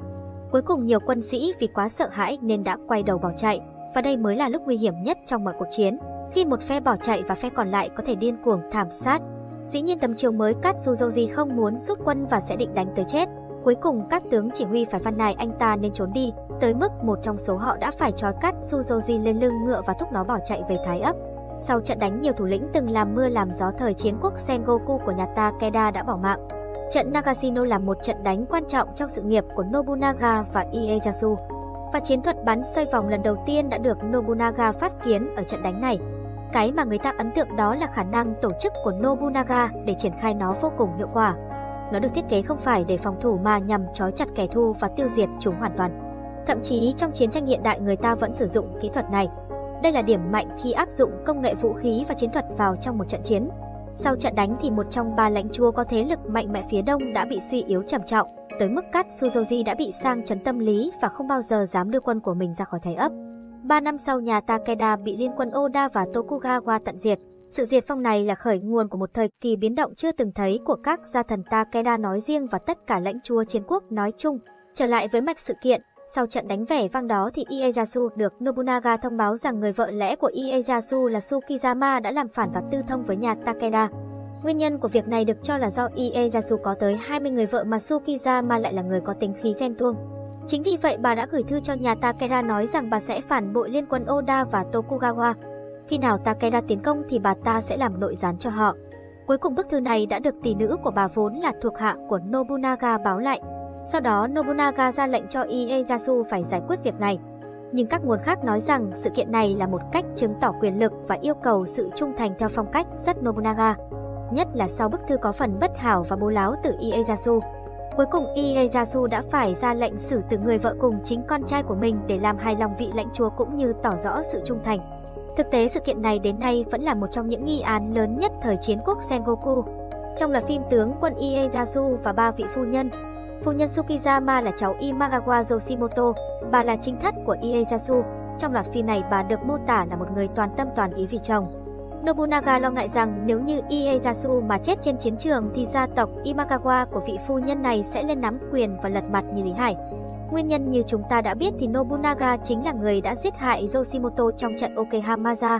Chính vì vậy vị lãnh chúa đã ép Ieyasu phải xử tử vợ và con mình. Bản thân ông ấy biết mình bị gài mà cũng không làm gì được. Nếu Nobunaga hủy liên minh sẽ bị nhà Takeda đấm phát chết luôn. Trong phim mô tả là vị phu nhân đã biết điều này và chấp nhận cái chết. Đến nay nó vẫn là một nghi án và là tiếng xấu muôn đời của Ieyasu khi ông đã ra lệnh xử tử chính vợ và con của mình. Về phần lãnh chúa Nobunaga sau trận đánh này thì lại gặp một vấn đề khác, đó là sự nổi loạn và vụ ám sát bất thành ở Thái ấp Iga, một thái ấp được xếp hạng là nhỏ nhất trong thời chiến quốc Nhật Bản. Trong 150 năm những con người này đã tự trị, ngăn chặn mọi cuộc tấn công vào lãnh thổ của họ. Khi họ chiến đấu họ chỉ tập hợp lại thành những nhóm nhỏ như đội quân du kích. Bằng cách này trong nhiều năm trời họ đã đánh úp các đường giao liên của Nobunaga. Họ rất thành thạo kỹ năng giao chiến du kích, đến nỗi chính họ đã cho ra đời truyền thuyết và cũng là nơi sản sinh ra các shinobi huyền thoại. Oda Nobunaga thực sự xem Iga là một cái gai trong mắt, ông đã quyết tâm bình định vùng đất này bằng mọi giá. Đáng lẽ đây phải là một việc đơn giản mà rốt cuộc nó lại trở thành một trong những chiến dịch tốn cơm gạo, đẫm máu và tàn khốc nhất mà vị lãnh chúa từng phải đối mặt. Vị tướng được ông cử đi chính là người con trai út Oda Nobukatsu. Nobukatsu bị lu mờ trước những người anh em khác và nghĩ rằng đây chính là cơ hội thể hiện năng lực trước cha. Kế sách của Nobukatsu rất đơn giản, anh định tiến công vào thái ấp nhỏ bé này thông qua ba con đường đèo khác nhau. Sau khi hội quân có thể tổng lực diệt trừ đám nông dân bất hảo, Thế nhưng khi vào sâu trong cánh rừng mà những người Iga vốn đã rất thông thuộc địa hình, họ bị tập kích và thảm bại tại nơi đây. Trong cuộc tấn công ấy có một tướng lĩnh cấp cao của Nobukatsu đã bỏ mạng. Cứ thế cả đoàn quân tháo chạy và đây là nỗi nhục nhã vô cùng của quân đội Oda. Trên đường tháo chạy họ còn bị người dân quấy rối và du kích. Đám tàn quân rút chạy mà không biết ai hay cái gì vừa tấn công họ. Chiến dịch này là một thất bại thảm hại chưa từng có tiền lệ, nhất là với một đội quân bách chiến bách thắng như nhà Oda. Nếu đám người Iga đó không bị trừng trị, nó rất có thể sẽ dẫn tới những cuộc nổi loạn nghiêm trọng hơn chống lại Nobunaga. Ông đã giận dữ tới mức thậm chí suýt chút nữa đã xử tử Nobukatsu. Nhưng thay vào đó Oda Nobunaga đã có một quyết định đơn giản hơn như thế. Đó chính là xóa sổ Iga ra khỏi bản đồ nước Nhật. Năm 1581, Nobunaga chọn ra 5 vị tướng dày dạn trận mạc nhất của mình để bình định Iga từ năm hướng khác nhau. Người dân Iga chống trả quyết liệt hết mức, tuy nhiên họ đã không thể lặp lại điều từng làm với Nobukatsu họ không đủ nguồn lực để tiến hành chiến tranh du kích với năm đạo quân tách biệt, vẫn phong cách cũ. Quân của Nobunaga tiến công đốt sạch mọi ngôi làng và sinh vật sống mà họ đi qua. Nhiều binh lính Iga vì không muốn gia đình rơi vào tay địch thậm chí đã tự kết liễu họ rồi tự sát. Đây quả là một thảm kịch gió tanh mưa máu. Đàn ông trẻ em phụ nữ, cá chó lợn mèo hoặc bị chém chết hoặc bị thiêu sống. Nobunaga đã bị chịu sự sỉ nhục ngoài sức chịu đựng và cả tỉnh Iga phải trả giá cho điều đó bằng chính mạng sống của họ. Với việc thành công bình định Iga, khi này Oda Nobunaga đã hoàn toàn đạt tới đỉnh cao quyền lực và tiến rất gần tới việc thống nhất toàn bộ Nhật Bản. Ông không chỉ thành công đả bại những tên tuổi sừng sỏ, thuộc số những vị tướng số má nhất Nhật Bản, bây giờ Nobunaga còn khẳng định bản thân bằng cách xây nên pháo đài vĩ đại nhất lịch sử, đó chính là lâu đài Azuchi. Điều lôi cuốn ở đây chính là lâu đài cao 7 tầng này được thiết kế theo một phong cách rất độc lạ. Mỗi tầng của tòa lâu đài này được bài trí và ám chỉ khác nhau về những vị thần, quyền năng và vị thế của họ được sắp xếp theo độ cao. Nhưng trên tầng cao nhất mà Nobunaga ở thì nó lại chẳng có gì ngoài một tấm gương để ông có thể ngắm diện mạo của chính mình. Thiên thượng thiên hạ duy ngã độc tôn, thực tế Nobunaga đã tự coi mình như một vị thần tối cao nhất của Nhật Bản. Trên hành trình đạt tới đỉnh cao quyền lực, ông đã không ngần ngại trở thành một kẻ phán xử đầy khát máu, chém giết không trừ một tầng lớp và vùng miền nào của Nhật Bản để tạo nên quyền lực của bản thân. Sau tất cả những cuộc thảm sát đẫm máu đó, nhiều nhân vật ở Kyoto đã gọi Nobunaga với cái tên đệ lục thiên ma vương. Ông đã đạt tới cái ngưỡng hoặc là phải từ bỏ quyền lực hoặc là phải tiếp tục sát sinh. Không khó nghĩ, Nobunaga đã chọn cách thứ hai. Kẻ được tôn xưng là ma vương tiếp tục kế hoạch bành trướng không khoan nhượng và nhắm tới một mục tiêu mới. Đó chính là gia tộc Mori hùng mạnh cát cứ ở vùng lãnh thổ rộng lớn phía Tây. Ông đã ra lệnh cho vị tướng phụng sự lâu năm và thân tín, Tozotomi Hideyoshi tấn công thành chỉ chính của họ. Đây là nước bị ảnh hưởng sâu sắc tới vận mệnh của cả hai nhân vật này. Khi này Hideyoshi thuộc số tướng lãnh trận mạc đứng hàng đầu của Nobunaga nên ông được giao phó làm thống soái của chiến dịch. Hideyoshi bắt đầu tiến hành vây hãm một trong các lâu đài của gia tộc Mori, lâu đài Takamatsu. Lâu đài này có khoảng 5.000 lính đóng quân, bị Hideyoshi vây hãm với 30.000 lính. Tuy nhiên ông nhận được tin cấp báo rằng gia tộc Mori sắp đem hơn 40.000 lính tới giải vây và nó sẽ hiến Hideyoshi lâm nguy. Nếu đội quân chi viện kia tới ông sẽ bị kẹp ở giữa hai cánh quân, Hideyoshi đã gửi tin về cho Oda Nobunaga thuật lại tình hình và thỉnh cầu Nobunaga đem phần lớn lực lượng đến nghênh chiến quân chi viện của nhà Mori. Nhận thức được tình thế cấp bách, Nobunaga lệnh cho Mitsuhide hành quân về phía Tây càng sớm càng tốt. Nobunaga sẽ sửa soạn một quân đoàn riêng của ông theo sau. Lại nói về nhân vật Akechi Mitsuhide, thân thế của hắn ta rất khác thường và cho thấy việc dùng người không có tiền lệ của Nobunaga. Mitsuhide vốn là một Ronin vô chủ tức là samurai mà chủ nhân trước của ông ta đã tử nạn trên chiến trường. Trước khi theo hầu Nobunaga, vốn dĩ Mitsuhide đã là một trong những vị tướng từng được huấn luyện bài bản trong việc chỉ huy. Chính xác thì ông ta cũng được Nobunaga rất trọng dụng và ưu ái, thậm chí có phần nhỉnh hơn cả Hideyoshi khi được cấp nhiều lâu đài xứng với tước vị samurai của mình. Đa phần các đại lãnh chúa chỉ chọn người từ các gia tộc thân cận hàng thế kỷ làm chỉ huy cấp cao. Nobunaga lại sẵn sàng đón nhận kẻ lang bạt chẳng có liên hệ gì với nhà Oda này và phong cho hắn tước vị rất cao trong hàng ngũ tướng lãnh của mình. Điều này cho thấy việc trọng dụng nhân tài không có tiền lệ của Nobunaga. Đội quân nhà Oda là nơi mà một người nông dân như Hideyoshi hay tướng thất trận như Mitsuhide đều được trọng dụng nếu như có thực tài, chứng tỏ được bản lĩnh. Sự tiến bộ của ông đã được lịch sử minh chứng sự vượt trội về tài năng quân sự, nhưng nó cũng tiềm ẩn nhiều nguy cơ không thể lường. Mitsuhide vốn là một Phật tử thuần thành, bản thân ông ta đã bị tổn thương sâu sắc sau cuộc tàn sát Phật tử tại quần thể tu viện Enji Akuchi. Nhưng điều đáng nói hơn cả, đó là có những nguồn sử liệu tin rằng trong những chiến dịch đẫm máu của mình, Nobunaga đã gián tiếp gây ra cái chết của mẹ Mitsuhide. Nỗi oán giận cùng sự đối đãi và ứng xử tệ hại đã dồn nén trong lòng ông ta. Chúng có lẽ là những bức bách trực chờ bùng nổ. Mitsuhide đã ra một quyết định làm thay đổi lịch sử nước Nhật. Đó chính là hành động đảo chính và ám sát nhắm tới Nobunaga. Thay vì hành quân tới hỗ trợ Hideyoshi, Mitsuhide lệnh cho quân của ông ta tiến về Kyoto. Chỉ tới những phút giây cuối cùng ông ta mới tiết lộ cho các tướng lĩnh âm mưu làm phản, giết chết Nobunaga để thâu tóm quyền lực vào tay của mình. Đêm đó, Nobunaga nghỉ tại một ngôi đền nhỏ ở Kyoto tên là Honnochi. Đi theo ông chỉ có một ít cận vệ trung thành như nhóm vệ sĩ riêng của mình. Đây chính là lúc mà ông dễ tổn thương nhất và thời cơ này có lẽ là có một không hai. Bản thân kẻ thù của ông Mitsuhide cũng nhận thấy như vậy. Hắn ta hành quân thẳng tới trung tâm Kyoto và ra lệnh quân lính tấn công dữ dội vào ngôi đền. Nobunaga đã hoàn toàn bị tấn công bất ngờ. Khi ông nhận ra sự việc đang xảy ra, ông đã chiến đấu quả cảm cho tới những phút giây cuối cùng. Oda Nobunaga mau chóng nhận thức được rằng mọi sự đã không thể cứu vãn. Ông đã lui về căn phòng ở phía sau ngôi đền và thực hiện nghi thức seppuku. Sự trỗi dậy của Nobunaga tưởng chừng không gì có thể ngăn cản theo đúng nghĩa đen. Trong khoảng 20 năm, ông từ một kẻ cai trị tỉnh lỵ nhỏ bé trở thành lãnh chúa của một phần ba đất nước. Thực sự thì những kẻ thù hùng mạnh nhất gần như đều đã bị xóa sổ. Việc thống nhất Nhật Bản chỉ còn là thời gian. Vậy mà giờ chỉ trong một ngày cả thế giới lại tiếp tục đảo lộn. Đây thực sự là một diễn biến quá sức bất ngờ mà không một ai có thể lường trước được. Nước đi tiếp theo của Mitsuhide chính là tiến về lâu đài Azuchi cách đó 32 cây số, nơi mà người kế tục của Nobunaga là Nobutaka hiện đang cư ngụ và sát hại anh ta. Với việc giết Nobunaga cùng người kế tục, Akechi Mitsuhide đã tạo ra một lỗ hổng quyền lực ở Nhật Bản, và đó là lỗ hổng mà ông ta đã mang dã tâm tự mình khóa lấp.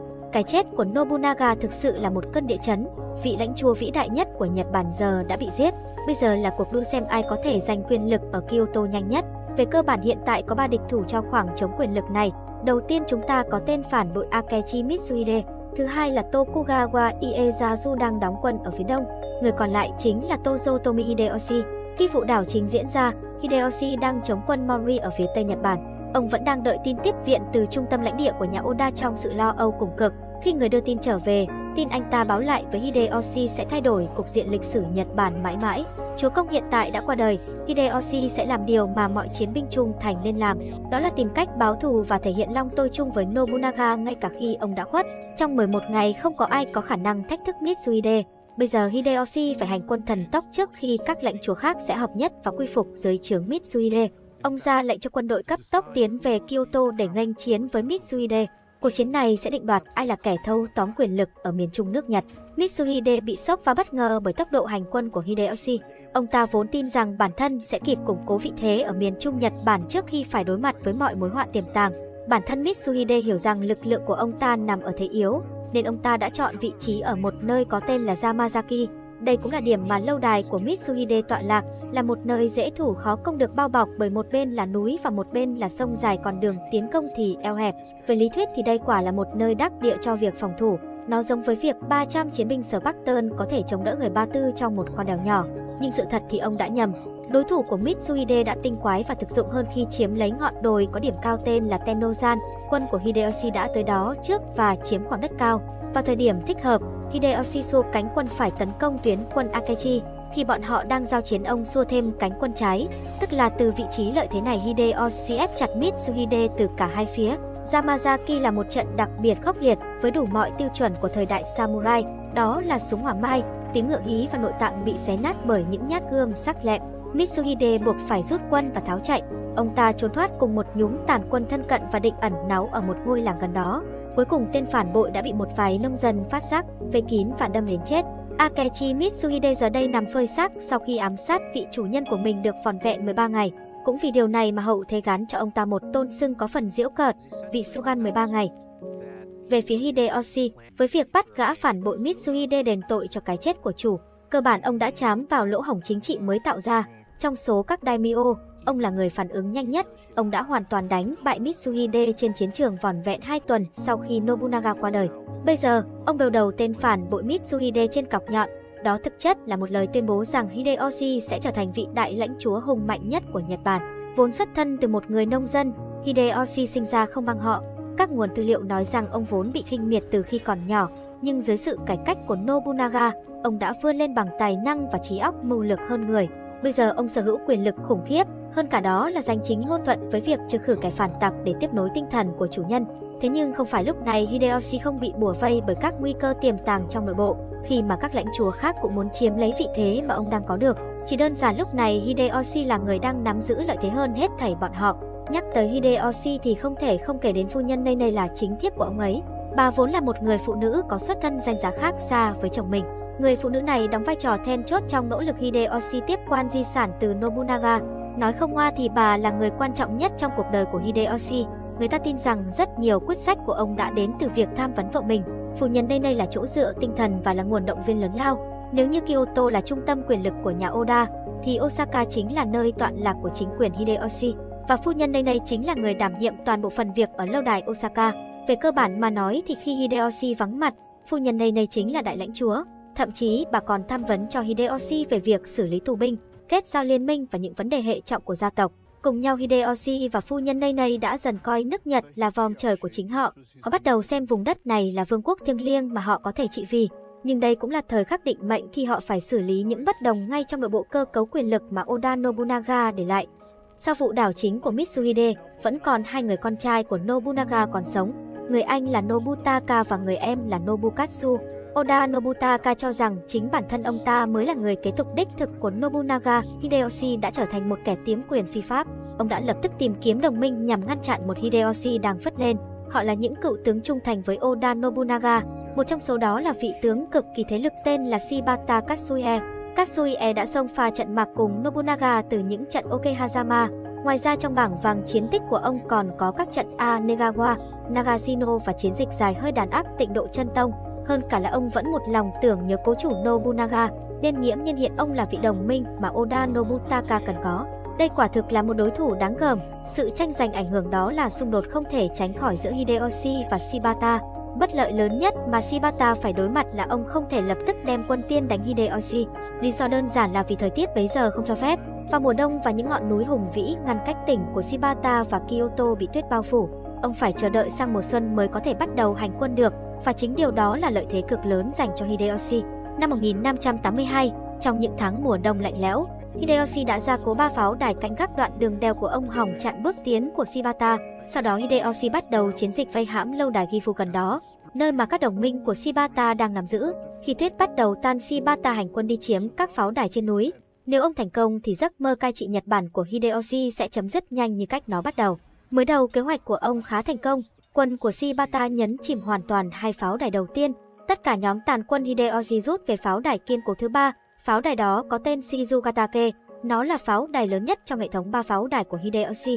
Shiba Takatsui tập hợp quân đoàn nhằm chiếm lấy chiến lợi phẩm cuối cùng này, thì sẽ đảm bảo đường tiến công thọc thẳng vào vị trí của Hideyoshi. Nếu Shizugatake thất thủ thì thời trị vì của Hideyoshi cũng sẽ chấm dứt. Các mảnh ghép đã vào vị trí cho cuộc tranh quyền đoạt vị hệ trọng của gia tộc Oda. Thời khắc đã điểm, Shibata Katsui cử cháu mình là Mojimasa đi chiếm pháo đài này. Mojimasa hiểu tầm quan trọng của việc chiếm cứ pháo đài Shizugatake. Nếu nó cầm cự được càng lâu thì Hideyoshi càng có nhiều cơ hội giải vây cho nó. Mọi cuộc vây hãm đều có một vấn đề, đó là kẻ vây hãm rất dễ bị quân tiếp viện tới tấn công, càng tập trung vào pháo đài đồng nghĩa với việc đang phơi lưng cho thiên hạ. Shiba Takatsue đã tỏ ra vô cùng quan ngại, đến nỗi ông đã phải phái sứ giả tới gặp cháu mình để ra lệnh đừng vây hãm Shizugatake nữa. Hãy đóng quân về một trong hai pháo đài mà cháu chiếm được đi. Nhưng Mojimasa đã bỏ ngoài tay quân lệnh này. Anh ta tin rằng bản thân có đủ thời gian để tiếp tục cuộc vây hãm. Shibata biết rằng Morimasa rất dễ bị quân địch đánh thọc hậu. Mặc dù có xuất thân phải nói là thấp hèn nhất, Hideyoshi đã chứng tỏ mình là một vị tướng cầm quân với chiến thuật xuất chúng. Ông thực sự là một chiến lược gia bậc thầy và lỗi lạc trong trận mạc, nên khi sứ giả tới báo tin tình hình ở Shizugatake, Hideyoshi biết ngay rằng đó chính là thời cơ mà ông phải lập tức nắm bắt. Hideyoshi đã gây dựng tên tuổi của mình bằng kỹ năng hành quân thần tốc. Ông quyết định nếu bản thân có thể đem quân tới được Shizugatake thì đây chính là cơ hội để quân đội của ông phản công. Giây phút đầu tiên Sakuma Mojimasa nhận thấy chuyện đang diễn ra là khi anh nhìn xuống thung lũng và thấy hàng ngàn samurai của Hideyoshi. Đây là cú sốc cực lớn với Mojimasa. Ông ta cuống cuồng tìm cách bố trí lại quân đội hòng lập phòng tuyến kiên cố chặn đường lên núi của Hideyoshi. Nhưng khi ấy đã là quá trễ, quân của Morimosa hoàn toàn rối bởi trước đòn tấn công bất ngờ từ phía Hideyoshi. Trận Shizugatake là một trận đặc biệt khốc liệt xét về mặt đánh giáp lá cả. Một cảnh tàn sát man dợ diễn ra trong không gian cực hẹp của con đèo. Quân của Sakuma mau chóng tháo chạy xuống núi để rút về lâu đài của Shibata chủ thân. Sau 3 ngày bị vây Shibata E nhận ra sự nghiệp của ông đã lâm vào ngõ cụt. Cuối cùng ông đã kết liễu cuộc đời mình bằng nghi thức seppuku. Thắng lợi của Hideyoshi ở trận Shizugatake mang tính then chốt. Giờ đây, Hideyoshi nghiễm nhiên trở thành kẻ trị vì số một nước Nhật và kế thừa toàn bộ di sản mà Nobunaga để lại. Ông là nhân vật hiếm hoi trong lịch sử chính trị mà chúng ta có thể công nhận là có tầm nhìn xa trông rộng, nhận thức rõ ràng về những triển vọng mới vượt xa những gì mà những người ở thời ông từng biết. Chúng ta cần biết rằng thời điểm đó, cuộc nội chiến ở Nhật Bản đã kéo dài hàng thế kỷ, không có bất kỳ sinh linh nào ở Nhật Bản chưa từng nếm mùi chiến tranh. Bây giờ Hideyoshi đang muốn kiến tạo một nền chính trị ổn định nhằm chấm dứt các cuộc nội chiến. Mặc dù ông đã trở thành daimyo quyền lực nhất nước Nhật, ông vẫn còn nhiều thách thức phía trước. Những daimyo hùng mạnh khác muốn giành lấy quyền lực cho riêng mình. Một trong số đó chính là Tokugawa Ieyasu, người mà hoặc là ông phải tiêu diệt hoặc là phải kết mối liên minh vững chắc. Dù cả hai người từng cùng xông pha trận mạc cùng Nobunaga trong vô số trận chiến, nhưng Ieyasu không hẳn là thuộc hạ của Nobunaga, nói đúng hơn thì vị thế của ông ta là đồng minh nên Ieyasu có phần mối mặt khi một thuộc hạ của Nobunaga bỗng dưng hành xử như thể ông ta nắm toàn bộ nước Nhật. Con người này có tham vọng riêng của mình, đó có lẽ chính là hất cảng Hideyoshi để trở thành người quyền lực nhất.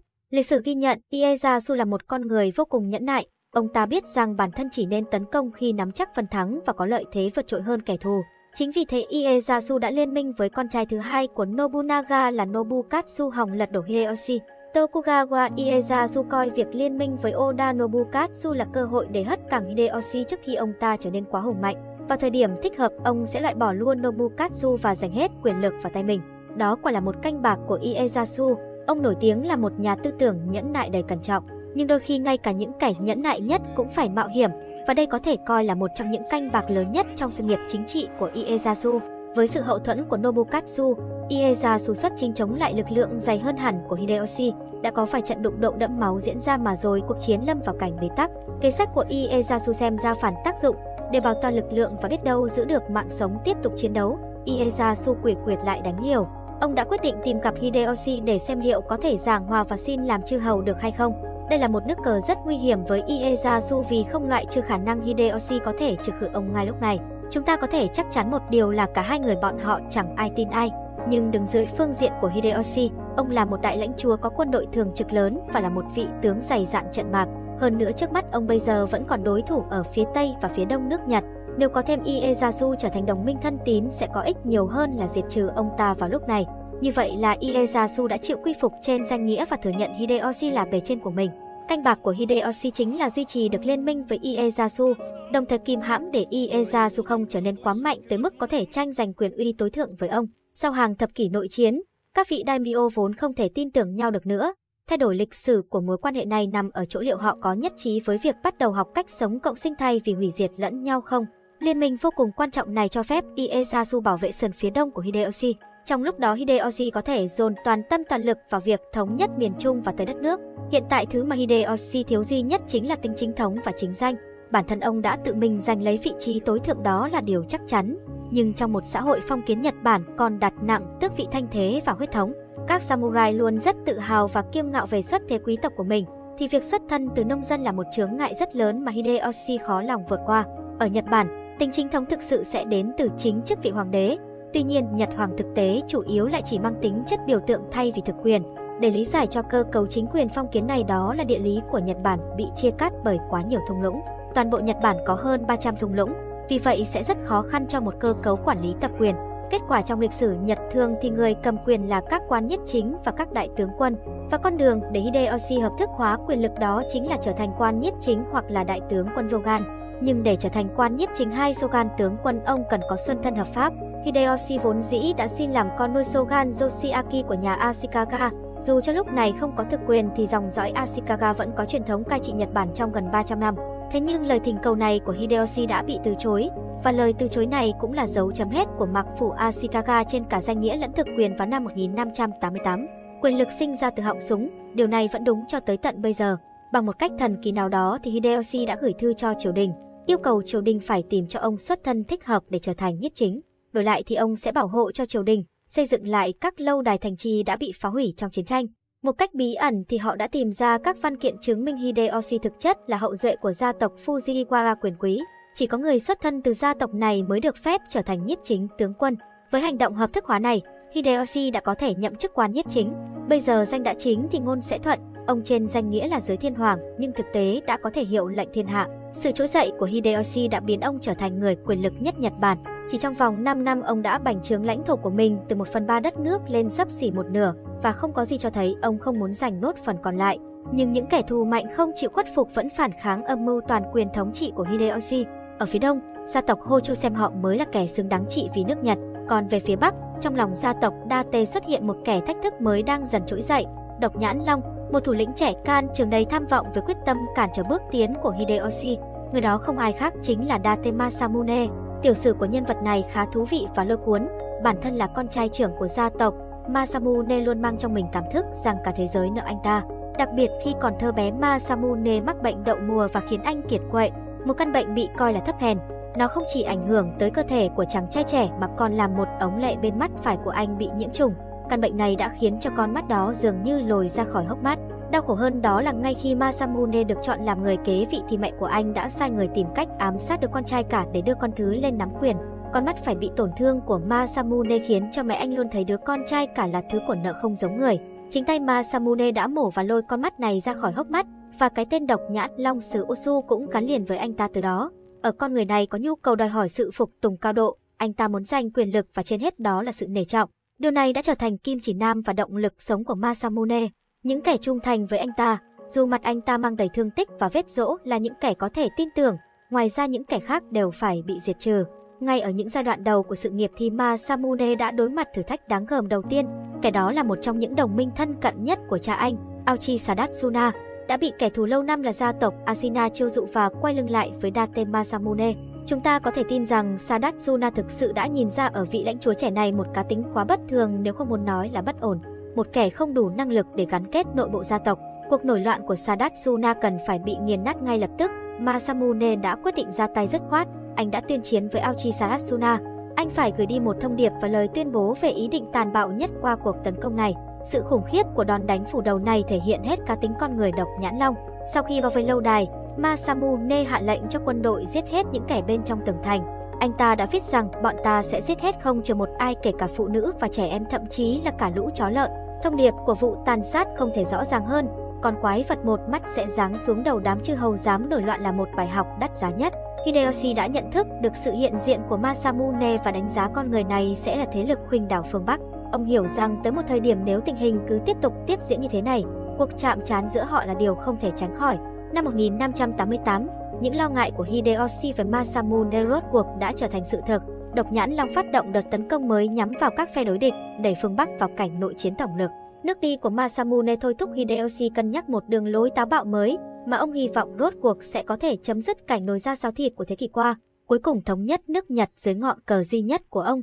Để biến điều đó thành hiện thực, lần này Hideyoshi quyết định không dùng tới lễ kiếm.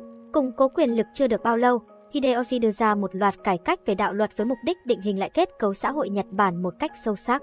Một trong những cải cách đáng chú ý đầu tiên mà ông thực hiện là ra lệnh một công cuộc được gọi là săn kiếm. Nói cách khác, ông phái quân đội tới khắp các miền quê để trưng dụng hết khí giới của dân thường.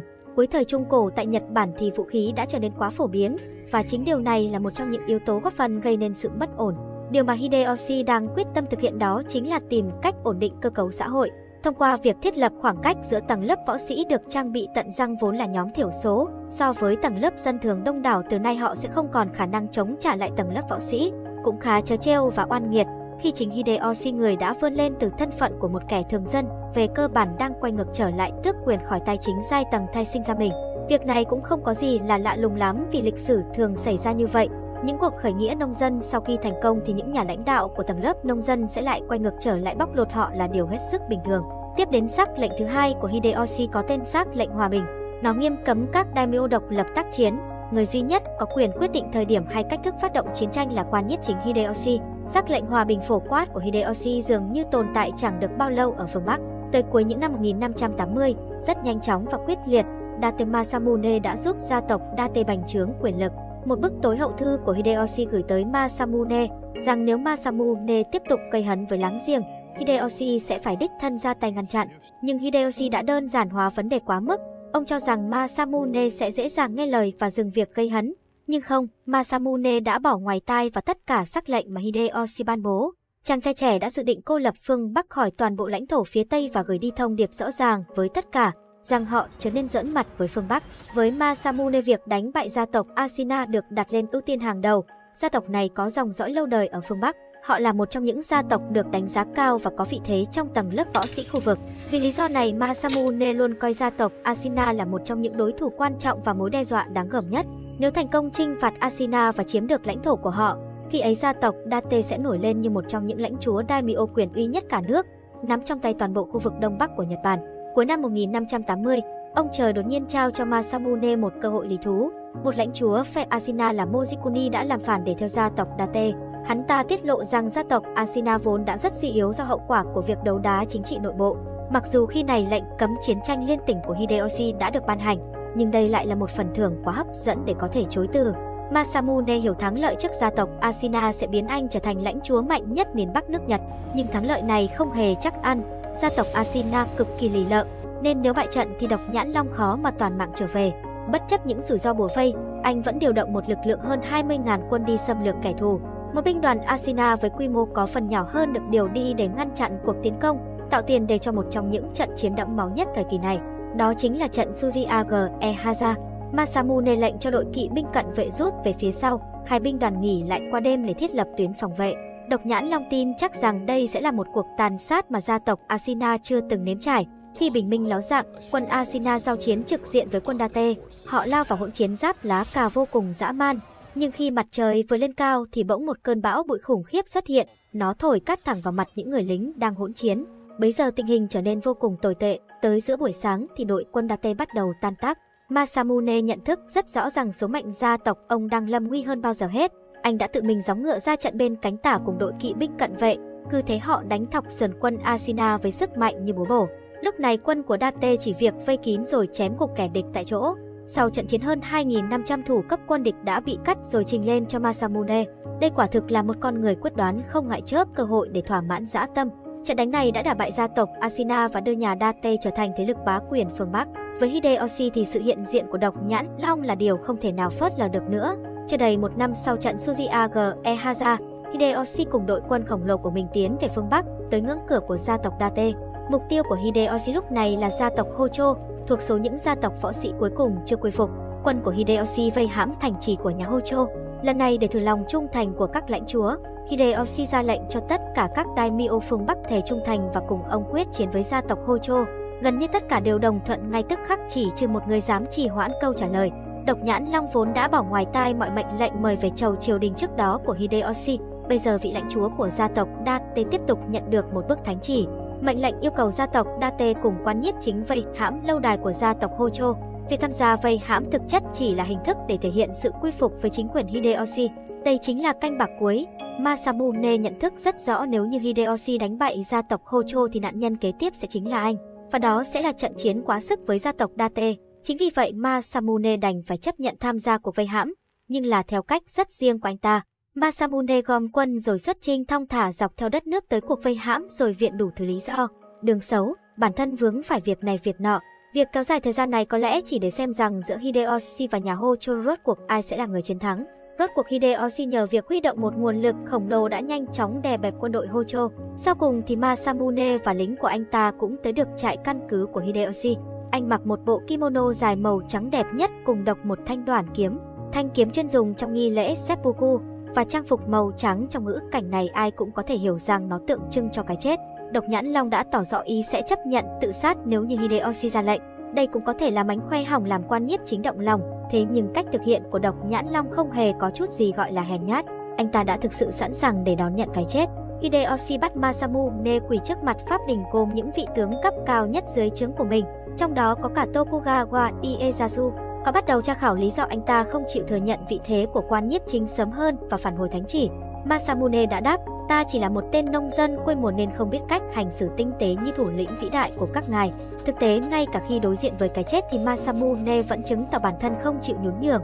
Anh ta đã đến trình diện và nói ra lý do không kịp hội quân. Nếu như chúng không đủ thuyết phục thì anh sẵn lòng chết chứ không chịu cúi mình trước bất cứ ai. Hideyoshi đã chọn cách tha mạng cho Masamune, bởi có lẽ quan nhất chính đã linh cảm rằng về sau vị lãnh chúa trẻ tuổi này sẽ cực kỳ hữu dụng cho ông nếu như được tha mạng. Ông đã tìm ra cách vô hiệu con rồng một mắt giữ Osu mà không cần tới màn thảm sát tận diệt sau cùng, việc mà ai cũng nghĩ rằng nó chắc chắn sẽ xảy ra. Thực tế ông đã buộc vị daimyo hùng mạnh đồng ý rằng đã đến lúc chấm dứt và ngừng cuộc nội chiến lại. Với việc Masamune bị khuất phục và gia tộc Hojo bại trận, Hideyoshi đã làm được điều mà Nobunaga chưa thể. Đó là lần đầu tiên trong 120 năm nội chiến dai rằng cuối cùng đã có thể thống nhất Nhật Bản dưới một ngọn cờ. Bằng những nước đi bạo lực, chính trị, ngoại giao đầy táo bạo, một kẻ từng xuất thân là nông dân đã vươn tới nơi đỉnh cao nhất của quyền lực. Và đó là câu chuyện lịch sử về Hideyoshi, vị đại lãnh chúa quan trọng thứ hai trong thời kỳ chiến quốc Sengoku Jindai, cho tới khoảng năm 1590. Quan nhiếp chính đối mặt với một mối bận tâm có phần chớ treo, đó là ông đã giành thắng lợi quá đỗi nhanh chóng, nên giờ dưới trướng ông là một đội ngũ daimyo đông đảo vô công vỡ nghề. Với linh cảm chính trị của mình, ông biết rằng công việc của bản thân đó là khiến cho họ cảm thấy bận rộn để không nghĩ tới việc tranh giành lãnh địa lẫn nhau. Các samurai và lãnh chúa vốn dĩ lớn lên trong một xã hội mà dừng chinh phục đồng nghĩa với cái chết, gia tộc của họ sẽ tan tành và đất đai của họ sẽ bị tước đoạt. Khi ở Nhật đã hết đất để có thể chinh phục thì họ biết phải làm gì. Đó là câu hỏi hóc búa đối với Hideyoshi, người đã nỗ lực hàng thập kỷ mang lại nền hòa bình và chấm dứt chiến tranh cho Nhật Bản. Câu trả lời của ông chính là Trung Quốc. Nhiều người cho rằng lý do khiến Hideyoshi nảy sinh kế hoạch kiểu quái gở có phần hoang tưởng này là do ông bắt đầu vĩ cuồng và mất trí. Nhưng với một chiến binh dày dặn kinh nghiệm trận mạc cùng một đạo quân tôi luyện trong lò lửa chiến tranh hàng vài trăm năm, Hideyoshi hoàn toàn có cơ sở để tin tưởng vào kế hoạch của mình. Thế nhưng thực tế ông sắp sửa phạm phải sai lầm chiến lược thuộc hàng lớn nhất cuộc đời và đẩy Nhật Bản vào một thảm cảnh vô tiền khoáng hậu. Dù vừa mới thiết lập nền hòa bình, Hideyoshi đã mơ tới một dự định táo bạo và ngông cuồng hòng biến ông không chỉ là nhân vật quyền lực nhất Nhật Bản, mà còn là quyền lực nhất cõi Á Châu. Nhật Bản thực tế đã chịu cảnh chiến tranh quá lâu, đến nỗi ở thời điểm này nhiều thế hệ chẳng biết gì ngoài chiến tranh. Những con sông Nhật Bản nhuốm màu đỏ máu, những cánh đồng sinh trưởng bởi tử thi. Chính Hideyoshi đã chấm dứt cơn ác mộng ấy cho Nhật Bản. Ông là người đã thống nhất đất nước và kết thúc cuộc chiến. Không chỉ vậy, phu nhân Nay Nay cùng Hideyoshi đã kiến tạo nên một nền chính trị ổn định cân bằng, nhưng hiện tại xã hội của ông đầy rẫy các daimyo và samurai không biết gì hơn ngoài tranh giành và chiến tranh. Câu hỏi đặt ra với Hideyoshi lúc đó chính là ông phải làm gì với cỗ máy quân sự khổng lồ nóng nảy này. Thế là ông bèn thay ngén kế hoạch xâm chiếm Trung Hoa. Thực ra với người Nhật, Trung Quốc là tiêu chuẩn của nền văn minh phong kiến.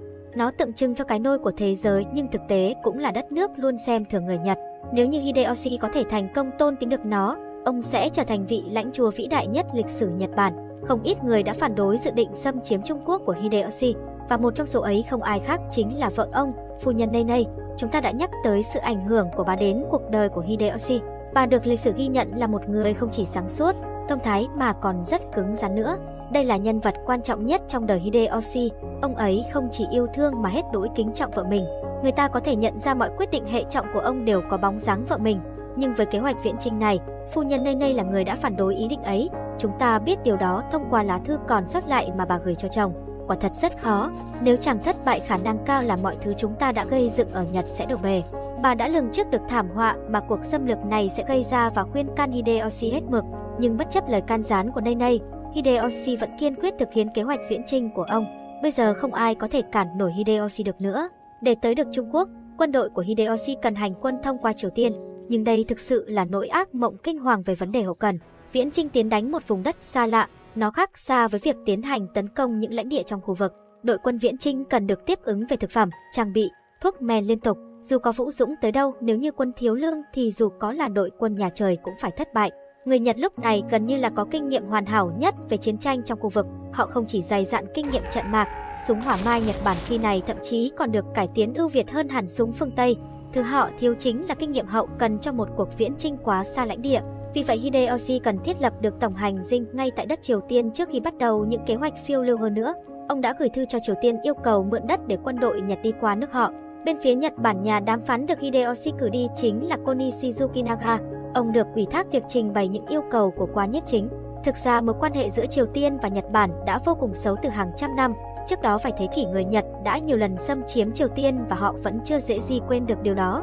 Hơn cả trong hệ thống triều cống của Trung Quốc, người Nhật vốn là một đất nước bị xếp ở dạng bét chót, họ vốn coi những đất nước như Việt Nam hay Nhật Bản là các dân tộc man dợ. Lúc này Triều Tiên là một chư hầu thân cận với Trung Quốc, Dĩ nhiên trong con mắt của họ khi nhìn vào hệ thống chính trị ấy cũng có sự coi thường. Chính vì vậy mà tuyên tổ Triều Tiên đã thẳng thừng từ chối. Cái cách mà họ từ chối với đầy sự khinh bỉ này cũng là viên gạch đầu tiên của cuộc chiến tranh nhâm thìn, mà rồi đây Triều Tiên sẽ phải hứng chịu cơn phẫn nộ từ Nhật Bản. Hideyoshi cho rằng đó là hành động coi thường không thể dung thứ. Điều này có nghĩa là trước hết ông phải thành công thôn tính Triều Tiên và trừng phạt họ vì dám đáp lại ông sắc dược như vậy. Năm 1592, kế hoạch xâm chiếm Triều Tiên như vậy mau chóng được phát thảo. Đây là chiến dịch quân sự kỳ công nhất lịch sử về mặt kỹ thuật tính tới thời điểm đó. Nó đã được chuẩn bị vô cùng hoàn hảo và cẩn trọng. Hideyoshi sẽ dựa vào các daimyo phía Tây vì họ gần Triều Tiên nhất. Chính vì vậy họ có thể huy động quân lực và tới đó nhanh hơn. Các daimyo phía Tây là những chiến binh thực thụ. Họ sống để chiến đấu, nên viễn cảnh được trinh phạt một kẻ thù truyền kiếp đáng ghét, bánh trướng thế lực của họ lên cả bán đảo Triều Tiên và kiểm soát hoạt động thương mại khu vực. Thực tế, với các vị daimyo này, phần thưởng đó cũng cám dỗ không kém gì với Hideyoshi. Chính vì vậy vào năm 1592, ông đã huy động được một đội quân xâm lược xếp vào hạng hùng hậu nhất thế giới với khoảng gần 200.000 lính. Đây là cuộc xâm lược với quy mô mà chỉ cho tới khi trận đổ bộ Normandy diễn ra thế giới mới lại thấy một lần nữa. Ngày 13 tháng 4 năm 1592, quân đoàn xâm lược đầu tiên của Nhật Bản đã song buồm ra khơi từ đảo Ushima đi qua eo biển Triều Tiên. Họ đổ bộ xuống cảng phía Nam Busan, dùng lực lượng hùng hậu đè bẹp phòng tuyến Triều Tiên. Tiếp đó người Nhật tiến vào đại lục với thế thắng như trẻ tre, thậm chí bắt giữ luôn cả hai hoàng tử Triều Tiên. Vị tướng dâu dài Katoki Zomasa thậm chí còn đánh lăn sang cả Mãn Châu và va chạm với nỗ nhĩ cáp dích. Lúc này người Nhật vừa trải qua gần 200 năm tôi luyện trong lò lửa chiến tranh, giết chóc khi này thực sự là nghề của họ. Quân đội Nhật Bản sát phạt cả bán đảo Triều Tiên không gớm tay, nơi nào mà họ đóng quân họ sẽ tàn sát lính đầu hàng cho tới dân thường. Họ đã thực hiện những hành vi man dợ kinh hoàng như cưỡng hiếp, giết chóc, cướp của và bắt bớ nô lệ, Cảm phẫn trước làn sóng bạo lực ghê tởm của những kẻ xâm lăng. Các cuộc nổi dậy bắt đầu nổ ra ở hầu hết mọi tỉnh lỵ. Dân thường Triều Tiên từ tầng lớp nông dân, tu sĩ cho đến thường dân hợp thành những đạo quân được họ gọi là nghĩa quân. Về cơ bản thì họ vẫn là những đạo quân du kích, vị thủ lĩnh rũ kích Triều Tiên lừng danh nhất là vị tướng có tên Quốc Cheu. Ngay sau khi Nhật Bản đổ bộ vào Triều Tiên, Quốc đã thành lập đạo quân du kích đầu tiên. Ông vốn là một người rất giàu có. Giai thoại nổi tiếng về vị tướng này đó là khi chiến tranh nổ ra ông đã bán hết sạch tài sản để trang bị vũ khí cho nghĩa quân. Với người Triều Tiên thì vị tướng này đã trở thành nhân vật ở tầm huyền thoại. Chiếc áo đỏ mà ông mặc là máu được nhuốm từ những trinh nữ mà quân Nhật hãm hiếp và giết hại. Mục tiêu chính của quốc là tấn công và triệt tiêu tuyến tiếp tế của quân Nhật. Đây thực sự là điểm yếu lớn nhất của quân đội Nhật Bản, bởi chúng phải đưa từ Nhật tới và nguồn tiếp tế này phải đi dọc qua cả giải đất Triều Tiên khiến chúng dễ trở thành mục tiêu của quân du kích. Trận du kích quan trọng đầu tiên là trận đánh quân Nhật gần sông Nam. Các trinh thám phát hiện ra rằng quân Nhật đã đóng cọc gỗ dưới lòng sông để cho họ biết khi nào có thể qua sông an toàn. Đây chính là cơ hội tuyệt vời để có thể tấn công bất ngờ. Bình thường quân Triều Tiên sẽ gặp bất lợi khá lớn khi phải đối đầu với quân Nhật được trang bị áo giáp và khí giới tốt hơn nhưng khi đánh nhau dưới nước thì tất cả những thứ đó trở thành vô nghĩa. Khi quân Nhật lội qua sông áo giáp nặng đã kìm chân họ, đó cũng chính là khoảnh khắc mà nghĩa quân đã nắm lấy. Quân Triều Tiên giáng những loạt đạn và mưa tên xuống đầu quân Nhật khiến họ bất lực hoàn toàn. Trận chiến trên sông Nam là thắng lợi đầu tiên của Triều Tiên trên đất liền. Quan trọng nhất nó chứng tỏ rằng người Nhật hoàn toàn có thể bị đánh bại. Trận đánh này tiếp thêm niềm tin to lớn cho người Triều Tiên rằng họ có thể chống lại và đẩy lùi quân xâm lược. Nói theo nghĩa quân, thường dân ở khắp quốc độ cũng đứng lên chống trả quân đội Nhật. Đây là cuộc chiến tranh du kích tổng lực, họ đánh úp về đêm, tấn công đốt phá trại, tất cả mọi hình thức quân sự mà họ có thể nghĩ ra để tiêu hao lực lượng kẻ thù. Chẳng bao lâu các tuyến tiếp tế và tàu bè của Nhật bị tấn công liên miên, việc giao lên giữa các quân đoàn bị cản trở. Quy mô và tính chất liên tục của các cuộc tấn công bắt đầu làm tụt nhuệ khí quân đội Nhật. Cuộc chiến ở Triều Tiên thực sự đã khiến cho các daimyo phía Tây kiệt quệ, hiện họ chỉ còn khoảng 50.000 lính, tức là 3 phần tư lực lượng của họ đã bay màu. Tiếp đó là nhà Minh cũng kịp thời chi viện cho Triều Tiên để chặn bước tiến của người Nhật. Thực tế có rất nhiều trận đánh cả trên bộ lẫn dưới biển hoành tráng đã diễn ra, nhưng người Nhật thực tế cũng không chịu nhượng bộ. Việc này vốn chỉ gây ra sự bế tắc khi cả ba phe không ai chịu dừng bước. Tại chính Nhật Bản, Hideyoshi ra lệnh quân đội tiến công vào Trung Quốc nhưng tướng lĩnh của ông tại Triều Tiên vốn không thể đi tiếp với thực tế chiến trường lúc này. Khổ nỗi là họ cũng không dám khước từ lời chủ nhân, Điều này cũng chính là mâu thuẫn giữa phe văn trị phái và phe võ đoạn phái dẫn tới cuộc chiến phân thiên hạ Sekigahara nổi tiếng vào cuối thời kỳ chiến quốc Sengoku. Các tướng lĩnh phe văn trị đã báo cáo tình hình sai lệch thực tế chiến trường tại Triều Tiên. Điều này khiến cho nhiều quân sĩ và tướng lĩnh trung thành của Hideyoshi bị mắc kẹt và thiêu quân tại đó. Không những vậy, khi trở về họ còn bị tước mất thuộc ấp và trừng phạt. Điều này được lý giải bởi Hideyoshi trong thời điểm này đã trở nên quá vĩ cuồng và độc đoán. Nếu đưa những tin bất lợi sẽ khiến ông nổi giận và mất mạng như chơi. Bởi vậy các tướng lĩnh phe văn trị đã không dám báo tin giữ để ông có một cái nhìn thực tế về tình hình chiến sự. Tức là hiện tại vị lãnh chúa không hề nhận thức được những gì đang diễn ra tại Triều Tiên. Ông thực sự không hiểu được mức độ nghiêm trọng của thảm họa này. Nhiều văn kiện cho thấy ông thậm chí còn tưởng rằng quân Nhật vẫn đang nắm thế thượng phong. Khi đang dồn toàn tâm toàn ý tới chiến dịch quân sự tại Triều Tiên, một vấn đề khác khiến cho Hideyoshi cũng mất ăn mất ngủ. Đó chính là tới hiện tại ông vẫn không có người thừa kế. Vợ của ông hiếm muộn mà ông lại mong muốn gây dựng một đế chế mới ở Nhật Bản. Một đế chế mà nhiều thế hệ của gia tộc Tozotomi sẽ trị vì. Nếu như không có người kế vị thì toàn bộ di sản của ông cũng vì thế mà sụp đổ. Và Hideyoshi nhận thức rõ ràng được điều đó. Công nương Chacha là người thiếp được Hideyoshi sủng ái nhất. Bà ta thực chất là cháu gái của Oda Nobunaga, với sắc đẹp nức tiếng nhưng lại có phần chua ngoa và cay nghiệt. Chacha cực kỳ độc đoán đối lập hoàn toàn với phu nhân đây đây, một người phụ nữ khiêm nhường có phần dung dị. Sau nhiều năm trời không thể sinh con, cuối cùng cha cha cũng đã hạ sinh được một quý tử và điều này đã khiến Hideyoshi vô cùng sung sướng. Trên con đường thống trị toàn cõi Á Châu, điều tất yếu là Hideyoshi cần có người kế tục dòng dõi Tozotomi của ông ấy. Nhưng khá oan nghiệt đó là con trai của Hideyoshi lại qua đời ngay khi còn rất nhỏ. Cõi lòng của ông tan nát và đột nhiên tương lai của gia tộc ông lại bị đặt một dấu hỏi lớn. Sự kiện này rõ ràng đã tác động rất nhiều đến trạng thái tinh thần của Hideyoshi, những cú sốc liên tiếp mà vị lãnh chúa phải trải qua, bởi trước đó mẹ ông cũng vừa qua đời. Nó đã góp phần gây nên sự khủng hoảng trong mọi quyết sách của Hideyoshi. Mọi nỗ lực hệ trọng của ông coi như đều đổ bể ở thời điểm mà ông đang cần nó nhất. Những cú sốc tinh thần này được tin là góp phần gây nên sự xa sút về năng lực trí tuệ hay sức khỏe tinh thần những năm tháng cuối đời của Hideyoshi. Mỗi ngày trôi qua hành vi của Hideyoshi càng trở nên thất thường và đáng lo ngại hơn. Thậm chí còn có tin đồn rằng ông bị lây bệnh lậu từ chính những thê thiếp của mình. Điều đó khiến ông càng hành xử một cách thiếu lý trí. Sau khi con trai qua đời, hiện tại Hideyoshi không còn người thừa tự. Trong lúc cuộc chiến tại Triều Tiên đang diễn ra vô cùng căng thẳng, Hideyoshi đã đưa ra một quyết định đột ngột đó là chọn cháu trai của mình là Hide Sutku trở thành người kế vị. Hide Sutku theo lịch sử kể lại là một người vô cùng xấu xa, ông ta bị nghiện tình dục, tàn bạo và khát máu, thậm chí có những lúc còn bắn giết nông dân vô cớ. Chính điều đó khiến cho Hide Sutku còn có biệt danh là sát sinh quan bạch. Thực tế đây không phải là một người thừa kế xứng tầm nhưng bản thân Hideyoshi không còn lựa chọn nào khác.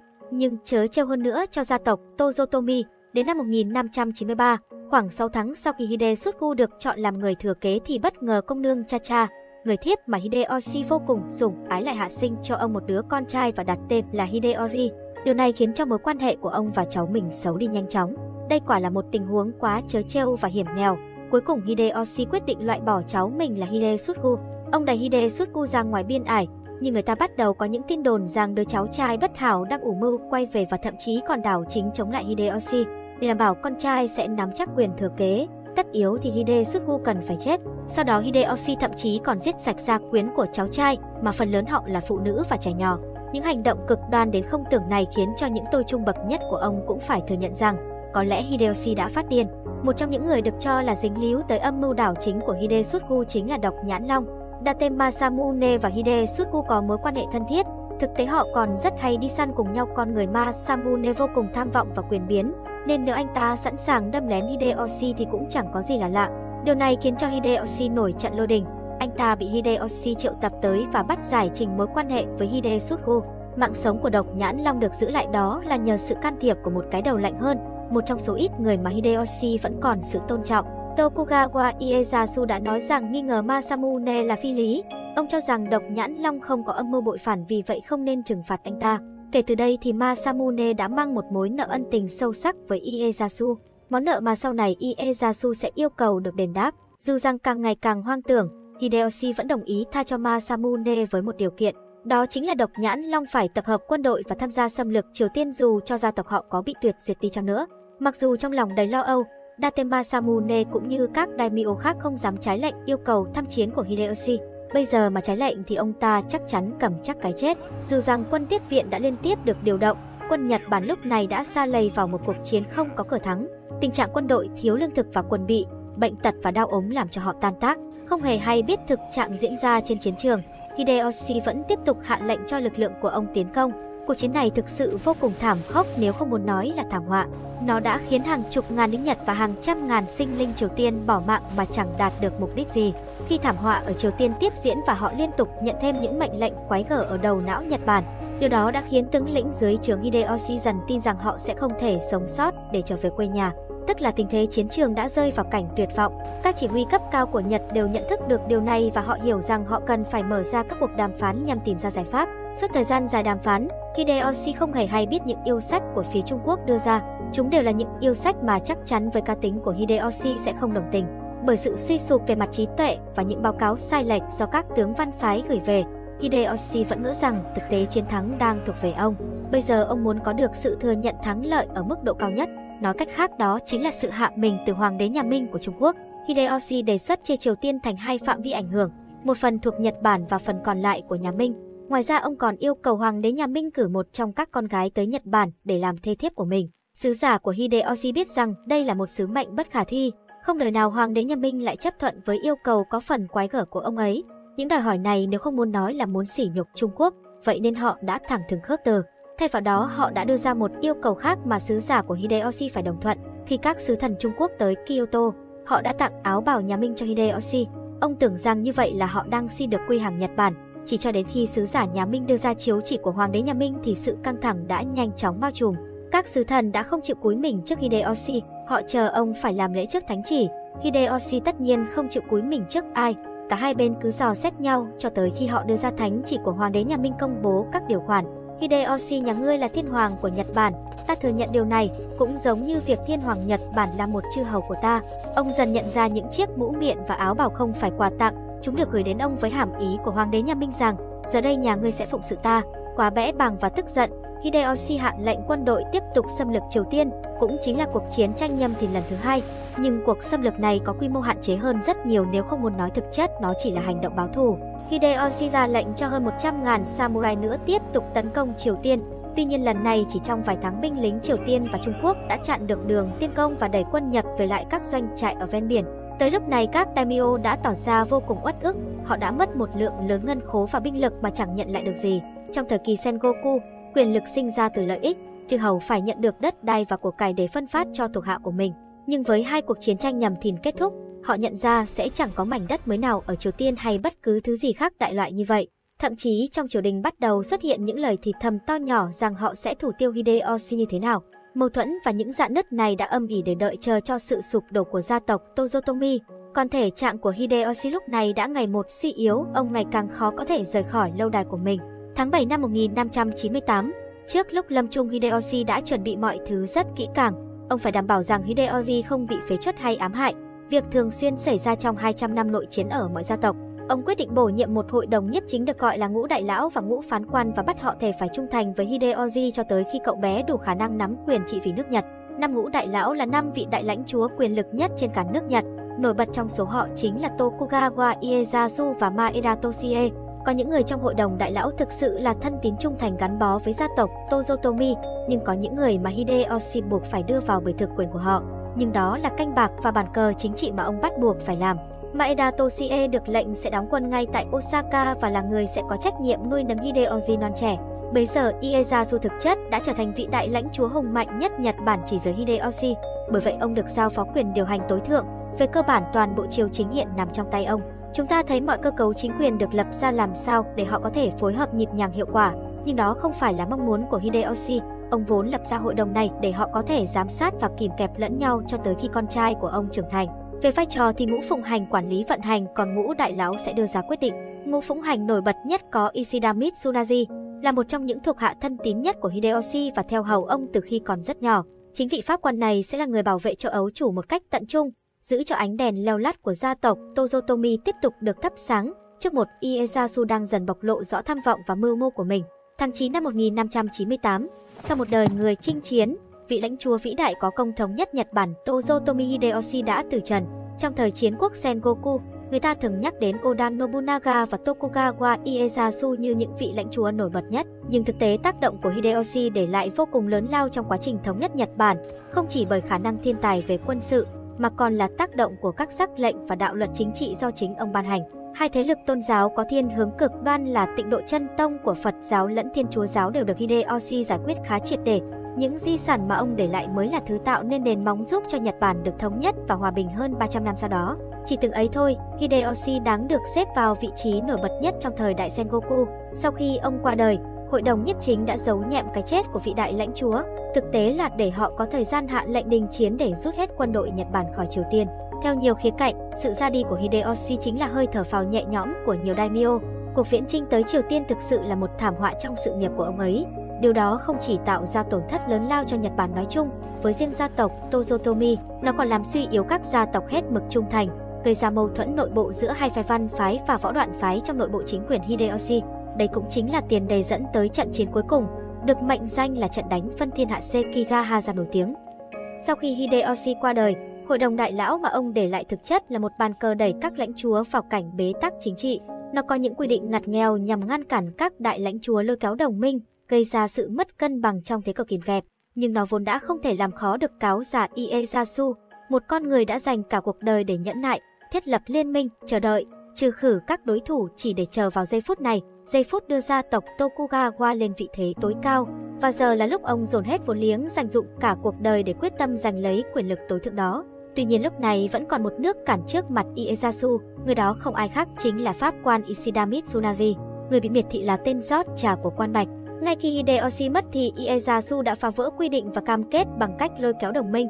Khi các đại lão và phụng hành hỏi thì trả lời một câu không thể vô tội hơn đó là vì già nên ông ta quên mất. Tất cả điều này để khích động cho Ishida mất bình tĩnh hành động trước và quả thật là anh đã không đủ già dơ trước con cáo già chính trị đó. Không những vậy ông trời còn chiều long gia tộc Tokugawa bằng cái chết của người bề tôi trung thành với Hideyoshi là lãnh chúa Maeda Toshie ngay sau đó không lâu. Trước đó ông đang là người giám hộ của ấu chủ Tozotomi Hideyoshi, bây giờ còn ai có đủ uy tín để thế chỗ cho ông ngoài Ieyasu nữa. Bây giờ Ieyasu đường đường chính chính rời quân đội tới lâu đài Osaka để có thể kiểm soát được Hideyoshi non dại. Đây là một nước đi vô cùng hệ trọng, cũng là giọt nước làm tràn ly khiến cho Ishida và các quan nhiếp chính khác đánh mất hết sự kiên nhẫn. Ishida đã thẳng thừng gọi Ieyasu là tên phản tặc, bởi lẽ quy định của Hideyoshi để lại không cho phép bất cứ lãnh chúa nào ngoài Toshie được rời tới trung tâm quyền lực của nhà Tozotomi tại Osaka. Họ yêu cầu Ieyasu phải rút lui khỏi đó, nhưng với ông ta thì đây chỉ đơn giản là một lời tuyên chiến. Lập tức chiếu diệt phản tặc được Ishida thảo ra, thiên hạ lúc này chia làm hai nửa. Giữa một Ieyasu đang trong thời kỳ thu hái quả ngọt của sự nghiệp, với những lãnh chúa thể tận trung với Hideyoshi đã kiệt quệ qua hai cuộc chiến nhâm thìn. Trận chiến này mình có làm chi tiết hơn ở video tóm tắt phim Sekigahara. Sau khi xem xong video này, các bạn có thể xem video đó nếu muốn biết thêm chi tiết trận đánh này. Trận Sekigahara vốn được biết đến là một trận đánh then chốt, nhưng trên thực tế nó là một chuỗi các chiến dịch với đầy đủ âm mưu chính trị, lôi kéo đồng minh cho đến khi cuộc tàn sát mưa tanh gió máu ở thung lũng quan nguyên diễn ra. Thành bại khi đó chỉ là kết quả tất yếu mà thôi. Cái hay và lôi cuốn của trận đánh này thực tế nằm ở những âm mưu được cả hai phe chuẩn bị trước đó. Một phần nào nó được thể hiện lại qua loạt phim Shogun giữa phe Tây quân trung thành với Hideyoshi và Đông quân dưới sự lãnh đạo của Ieyasu. Ngay trong giai đoạn đầu của cuộc chiến, Ishida đã tìm cách liên minh với nhà Uesugi, nơi xuất thân của vị thần chiến tranh Nhật Bản Uesugi Kenshin, một gia tộc nổi tiếng với lòng quân tử và tinh thần võ đạo. Anh vốn định kẹp chặt Ieyasu và tiêu diệt ông ta ở giữa gọng kìm này. Thế nhưng lúc này cũng là thời điểm mà Ieyasu yêu cầu độc nhãn Long phải đền đáp lại công cứu mạng anh ta trong những năm tháng mà Hideyoshi trị vì. Chính vì quân đội nhà Date quá vũ dụng thế nên gia tộc Uesugi đã không kịp hội quân như những gì mà Ishida toan tính. Bây giờ là cuộc đua của Ieyasu trở về thành trì của nhà Tokugawa ở vùng Edo để hội quân và đánh một trận sống mái phân chia thiên hạ. Ishida cũng phải cấp tốc ngăn chặn điều đó lại, nhưng trước đó đội quân của anh ta phải vượt qua cửa ải của phe đông quân đó là hệ thống thành trì Fushima. Bởi lý do đó lâu đài Fushima phải cầm cự được bằng mọi giá để ngăn đội quân của Ishida tiến đánh Ieyasu trước khi ông ta sẵn sàng. Thực tế Ieyasu vốn chưa bao giờ được đánh giá cao về tài năng quân sự, trong cả sự nghiệp chính trị của mình ông thường biết đến với những thất bại thảm hại. Cái hay của con người này chính là khả năng nhẫn nại vô tiền khoáng hậu và âm mưu chính trị không ai sánh bằng. Nhiệm vụ bảo vệ lâu đài Fushima lúc này được bằng hữu thân tín của Ieyasu là Tojimoto Tada bảo vệ. Thực tế đây là nhiệm vụ gần như gắn liền với một cái chết khá chắc chắn. Cả hai đều hiểu việc giữ được lâu đài này là một nhiệm vụ sống còn với tương lai của gia tộc Tokugawa. Với tỷ lệ lúc này là 20 trọi 1, về cơ bản vị tướng hay người bạn trung thành này của Ieyasu đang được giao một nhiệm vụ chiến đấu càng lâu càng tốt và không có cơ hội rút lui hay đón nhận quân tiếp viện. Khi Ieyasu vội vã lên đường trở về Edo hội quân và trốn tránh đón đánh của Ishida, Tojimoto Tada đã soạn sẵn thư tuyệt mệnh. Chúng ta đã nói tới lòng trung thành tuyệt đối của các samurai, cũng như tôn sùng cái chết như một thứ tôn giáo sống còn qua văn hóa phật ai. Đoạn thư tuyệt mệnh nói rằng, ông vốn có thể dễ dàng trốn thoát nhưng làm vậy sẽ không đáng mặt một chiến binh võ đạo. Ngay tại cửa tử này, ta sẽ chống đỡ những quân đoàn của cả đất nước này và đón nhận một cái chết thật đẹp. Quả thật Tojimoto Tada đã chống đỡ phe Tây quân một cách ngoạn mục với số lượng quân số áp đảo, chỉ với khoảng 2.000 lính đối đầu với hơn 50.000 lính của phía Ishida. Trận đánh này rất quả cảm và đậm chất sử thi. Điều khó tin hơn cả đó là ông đã cầm cự quân đội của Ishida tới tận hơn 12 ngày và thời khắc cuối cùng ông đã đón nhận cái chết trong ngành ngự.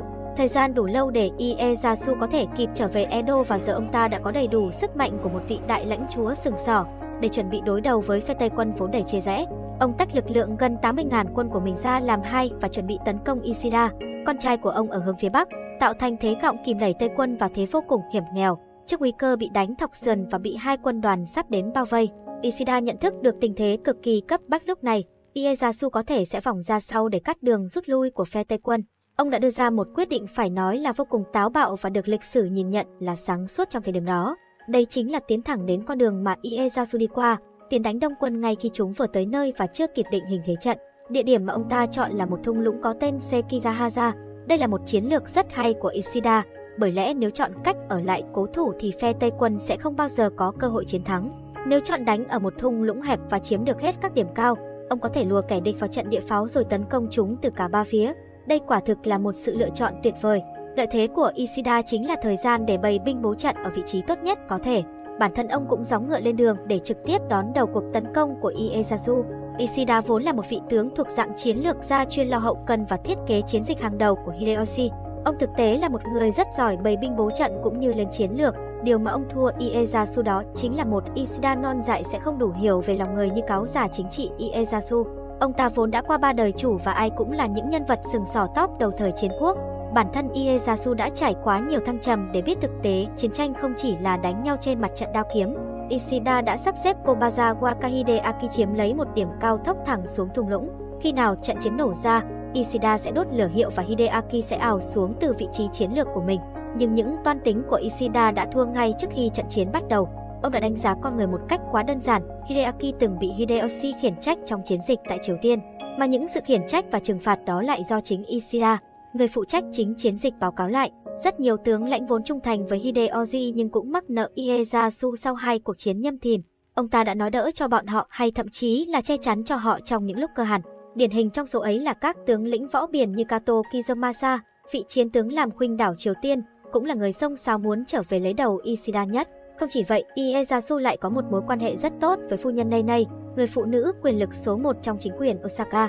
Nhiều tướng lĩnh và lãnh chúa dưới quyền Hideyoshi thực tế coi bà như người mẹ thứ hai. Bà đã tác động tới các vị lãnh chúa trong việc chọn phe cánh rất nhiều. Chính sự tác động của phu nhân Nei Nei phần nào dẫn tới việc quyết định của các vị lãnh chúa. Hideaki cũng là một trong số ấy. Nhưng oan nghiệt cho Ishida lúc này anh ta lại nằm phe Tây quân và quyết định làm phản vào thời điểm ngặt nghèo nhất. Ishida thì vẫn tin tưởng vào sự công hiến tận trung của các tướng lĩnh Tây quân dưới sự chỉ huy của mình. Trước khi trận chiến chính thức nổ ra, anh ta đã gửi thư cho Ieyasu và quyết định làm phản. Thực tế bây giờ, ngay cả Ieyasu cũng không thể biết thực tế Hideaki sẽ nằm về phe nào. Đây giống như một trò chơi hai mặt, anh ta có thể chờ đợi phe nào có lợi thế sẽ đổ quân vào giúp đỡ. Ieyasu cũng không hoàn toàn tin tưởng con người này. Khi trận chiến chưa diễn ra thì khả năng nào cũng đều là có thể. Các vị tướng của ông cũng nói rằng đây là một kế sách của Ishida, Ieyasu đang phải đối mặt với một quyết định khó khăn và nguy hiểm nhất của đời mình. Rốt cuộc thì đây là một canh bạc lớn, nhưng lại là canh bạc bắt buộc Ieyasu phải chấp nhận. Ieyasu vẫn hành quân tới Sekigahara. Nếu ông sai, thì đây chính là nơi chấm dứt sự nghiệp bấy lâu ông đã ẩn nhẫn đợi chờ. Quân đội đông quân tới nơi và chỉ thấy xung quanh là những ngọn lửa đốt trên núi. Nó cho thấy các điểm cao kiên cố mà Ishida đã kịp dựng lên. Bây giờ Ieyasu đang gặp thách thức rất lớn, vì một nửa quân đội của con trai ông vẫn chưa kịp tới hội quân như ông mong đợi. Chiến sự lúc này thực tế chỉ còn tính bằng giờ và phút. Tất cả những gì Ieyasu có thể làm là chuẩn bị tốt nhất cho trận chiến trước mắt. Vài tiếng nữa sương mù sẽ tan và trận chiến quyết định nhất trong lịch sử Nhật Bản sẽ chính thức bắt đầu. Hiện tại lợi thế đang nằm về phía Ishida, 120.000 lính của anh ta đang chiếm cứ các điểm cao. Khi chiến sự nổ ra Ishida sẽ xua quân của mình đánh vỗ mặt Ieyasu từ cả ba phía. Không những vậy còn bị áp đảo quân số gần như một trọi ba. Trong khi đó đứa con trai của Ieyasu vẫn mất dạng, mọi hy vọng của ông ta giờ trông cả vào lời hứa làm phản của Hideaki. Sáng sớm hôm trận đánh chính thức diễn ra, thung lũng Sekigahara bị bao phủ bởi sương mù. Chính vì thế cả hai phe đều không quan sát được nhau, và lúc trời vừa hưởng sáng thì sương mù tan, Ieyasu mới thấy trước mặt ông là những gì. Tất cả mọi mặt thì Ieyasu đều thua kém đối thủ, quân số của ông ít hơn, các điểm cao chiến lược Tây quân đều đã chiếm đóng và gia cố vững vàng, nhưng trái lại thì Ishida chỉ có kinh nghiệm lên chiến lược chứ trải nghiệm thực tế trận mạc lại rất ít. Cả sự nghiệp chính trị và quân sự của mình thì Ishida mới chỉ nắm chức phó tướng chứ chưa từng tự chỉ đạo một trận chiến quy mô. Ishida luôn bị các tướng lãnh dưới quyền Hideyoshi khinh miệt với biệt danh là tên rót trà của quan bạch. Nó cũng cần giống với kiểu một tên quan văn giỏi bợ đỡ mà thiếu thực tài. Trái lại ông rất được lòng Hideyoshi và gần như là trung thần tuyệt đối nhất với ông ấy. Nói không hoa thì Ishida gần như là một tiểu thiếp mà Hideyoshi vô cùng sủng ái. Khi đánh nhà Hocho, để cho Ishida được lập công và xóa tan mọi nghi ngờ của tướng lãnh, Hideyoshi đã cử ông cầm một lượng lớn quân đội đi đánh một ngôi thành bé nhỏ. Thế nhưng Ishida đã không thể hạ gục thành trì này, chỉ cho đến khi toàn bộ quân đội Hideyoshi đè bẹp họ và lãnh chúa nhà Hô Châu đầu hàng thì thành trì này nhận tin đó cũng đầu hàng theo. Chính vì vậy chiến công đó cũng không được tính cho Ishida. Sử liệu nói rằng ông đã quá nhân từ không nỡ dùng thủy công nhấn chim hôi thành bằng con sông gần đó, trong khi mọi vị tướng am hiểu chiến tranh khi công thành đều sẽ tận dụng. Có thể Ishida biết chắc chiến thắng sẽ nằm về phía Hideyoshi nên cũng không muốn tận diệt ngôi thành bé nhỏ một cách quá tàn bạo. Hiện nay con đê ấy tại Nhật Bản vẫn được mang tên Ishida, dẫu sao dù đã đảm nhiệm thiết kế rất nhiều chiến dịch, hậu cần. Thực tế Ishida vẫn chưa có một chiến thắng nào trong sự nghiệp cầm quân của mình. Đây chính là một trong những lợi thế ít ỏi mà Ieyasu cần tận dụng. Thời khắc đã điểm, cả hai bên ra lệnh tấn công dữ dội. Ishida đã kịp chuẩn bị phòng tuyến, chính vì vậy Ieyasu buộc phải tiến lên dù chịu tổn thất lớn.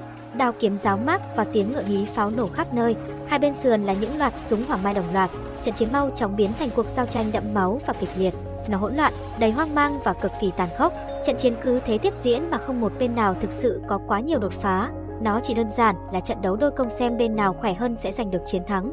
Ishida lúc này nhận thấy đã đến lúc đưa tiếp cánh quân thứ hai của Hideaki lâm trận và tạo ra đột phá. Ông ra lệnh đốt lửa hiệu nhưng đồng minh của ông vẫn án binh bất động. Thực tế chiến thắng đã rất gần với phía Tây quân nhưng bọn họ vẫn cứ đứng im và lạnh lùng như gỗ đá. Ngay cả Ieyasu cũng thấy rằng quân của Kobaza Wakahideaki vẫn giữ nguyên vị trí, thế là ngay chính cả ông ta cũng hoang mang khi không biết Hideaki đang toan tính điều gì. Khi trận chiến đã ở tình thế rất cao trào, Ieyasu đã thực hiện một nước đi mà ông tính toán kỹ. Nước đi này đã đi vào văn hóa đại chúng dân gian Nhật Bản. Ông ra lệnh quân đội nã pháo và bắn súng về phía Hideaki, bắt buộc hắn ta phải chọn một trong hai phe. Việc này hóa ra lại có tác dụng, nó đã khiến cho Hideaki không thể trì hoãn. Cứ thế thì quân đội Kobayashi tràn xuống đồi và đánh úp Tây quân. Chúng ta có thể hình dung phản ứng khi đó của Ishida, nhận ra đồng minh phản bội trong thời khắc ngặt nghèo nhất. Ông biết sự nghiệp và cuộc đời mình sẽ chấm dứt ngay tại đây. Quân của Hideaki đánh vào vị trí một vị tướng trung thành của phía Tây quân chấn thủ là Otani. Trận đánh này có rất nhiều giai thoại sử thi cao đẹp điển hình chỉ đến từ chiến tranh.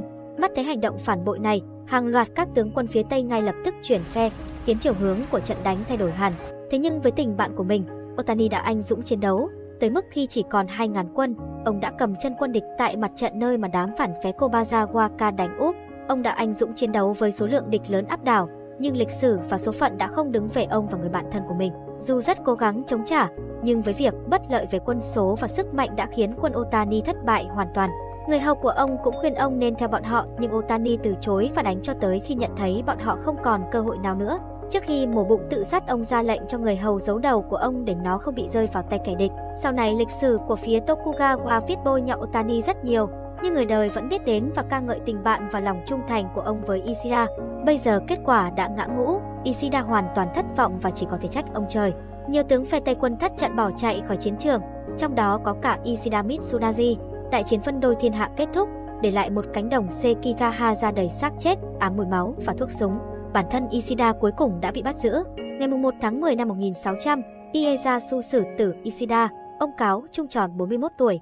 Trận Sekigahaza là giờ phút mang tính bước ngoặt với Ieyasu. Bây giờ về mặt quân sự mà nói thì rõ ràng ông là vị đại lãnh chúa quyền lực nhất Nhật Bản. Chiến thắng này đặt ông vào vị thế phải nói là thiên thượng thiên hạ duy ngã độc tôn. Không còn bất kỳ một ai tại Nhật Bản đủ khả năng thách thức tới quyền uy của gia tộc Tokugawa được nữa. Phần lớn những kẻ bất tuân sự cai trị của ông đều đã bị giết hết. Nhưng Ieyasu vẫn cần loan tin chiến thắng và dập tắt mọi ý định mơ hồ thách thức sự thống trị của ông. Ieyasu đã hạn lệnh hành hình những bề tôi trung thành của Hideyoshi. Đầu của họ bị bêu lên cọc như một lời tuyên bố đơn giản, thời trị vì của nhà Tozotomi đã chấm dứt, đây là thời của gia tộc Tokugawa. Nhưng sau trận đánh Sekigahara, Ieyasu đã đưa ra một quyết định gây tranh cãi. Dù đã tiêu diệt toàn bộ những tôi trung quyết tâm bảo vệ Hideyoshi, oan trái thay Ieyasu lại quyết định tha mạng cho vị ấu chủ. Thay vào đó, ông cho Hideyoshi ở lại lâu đài Osaka dưới sự quản thúc của mẫu thân là phu nhân Chacha. Độc Nhãn Long đã gửi cho Ieyasu một bức thư, nói rằng nếu như Ieyasu không giữ đứa bé đó bên mình và đích thân nuôi dạy nó, một ngày mọi kẻ thù của ông sẽ tề tự bên quanh đứa trẻ này và dùng nó để triệt hạ Ieyasu. Tuy nhiên, có lẽ Ieyasu lại nghĩ khác, ông ta hẳn có một tầm nhìn xa hơn Date Masamune nóng nảy đầy kiêu ngạo. Ông đã quyết định giữ khoảng cách và để cho Hideyoshi tự trưởng thành. Điều này theo ông sẽ khiến cho Hideyoshi nhận thấy quyền lực và sự thống trị của nhà Tokugawa. Năm 1600, thừa hưởng lại tất cả di sản của hai vị đại lãnh chúa tiền nhiệm, Ieyasu bắt đầu siết chặt và đặt vòng kiềm tỏa lên nước Nhật. Tất cả các daimyo dám chống lại ông ở trận Sekigahara đều bị giết hoặc bị tước đất tước quyền đẩy về làm thường dân. Sau đó họ bị đày ra những vùng biên địa của đất nước, tránh xa tầm ảnh hưởng và quyền lực. Những người đã trung thành và phụng sự ông thì được đưa vào gần trung tâm và được thưởng đất đai hậu hĩnh. Bằng cách này, Ieyasu đã tạo ra một vùng đệm gồm những thuộc hạ thân tín. Cơ chế tái định cư sâu rộng này sẽ bảo vệ Ieyasu và vĩnh viễn thay đổi cấu trúc chính trị tại Nhật Bản. Ông cho rời kinh đô và trung tâm quyền lực từ Kyoto về Edo, vậy nên giai đoạn thống trị của nhà Tokugawa cũng được gọi là thời mạc phủ Edo. Trong rất nhiều gia tộc trung thành với Ieyasu, họ đều được hưởng lợi sau trận chiến. Duy chỉ có Hideaki là bị Ieyasu ghẻ lạnh. Ông ta thậm chí là một trong những lãnh chúa bị tước đi nhiều quyền lợi, dù rằng quyết định của ông ta là yếu tố then chốt dẫn đến chiến thắng của Ieyasu.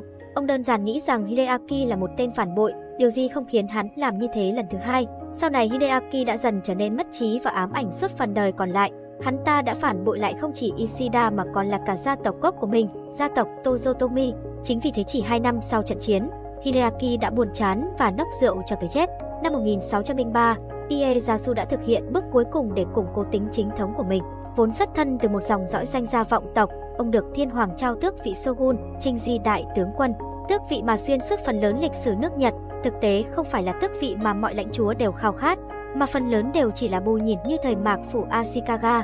Ieyasu đã khôi phục lại tước hiệu Shogun thành một địa vị quyền lực, đã thổi sinh lực cho nó và cho phép gia tộc ông kiểm soát toàn bộ nước Nhật. Sau khi được phong tước vị Shogun, Ieyasu lần đầu tiên kể từ sau sự sụp đổ của chính quyền Ashikaga đã đứng trên đỉnh cao quyền lực.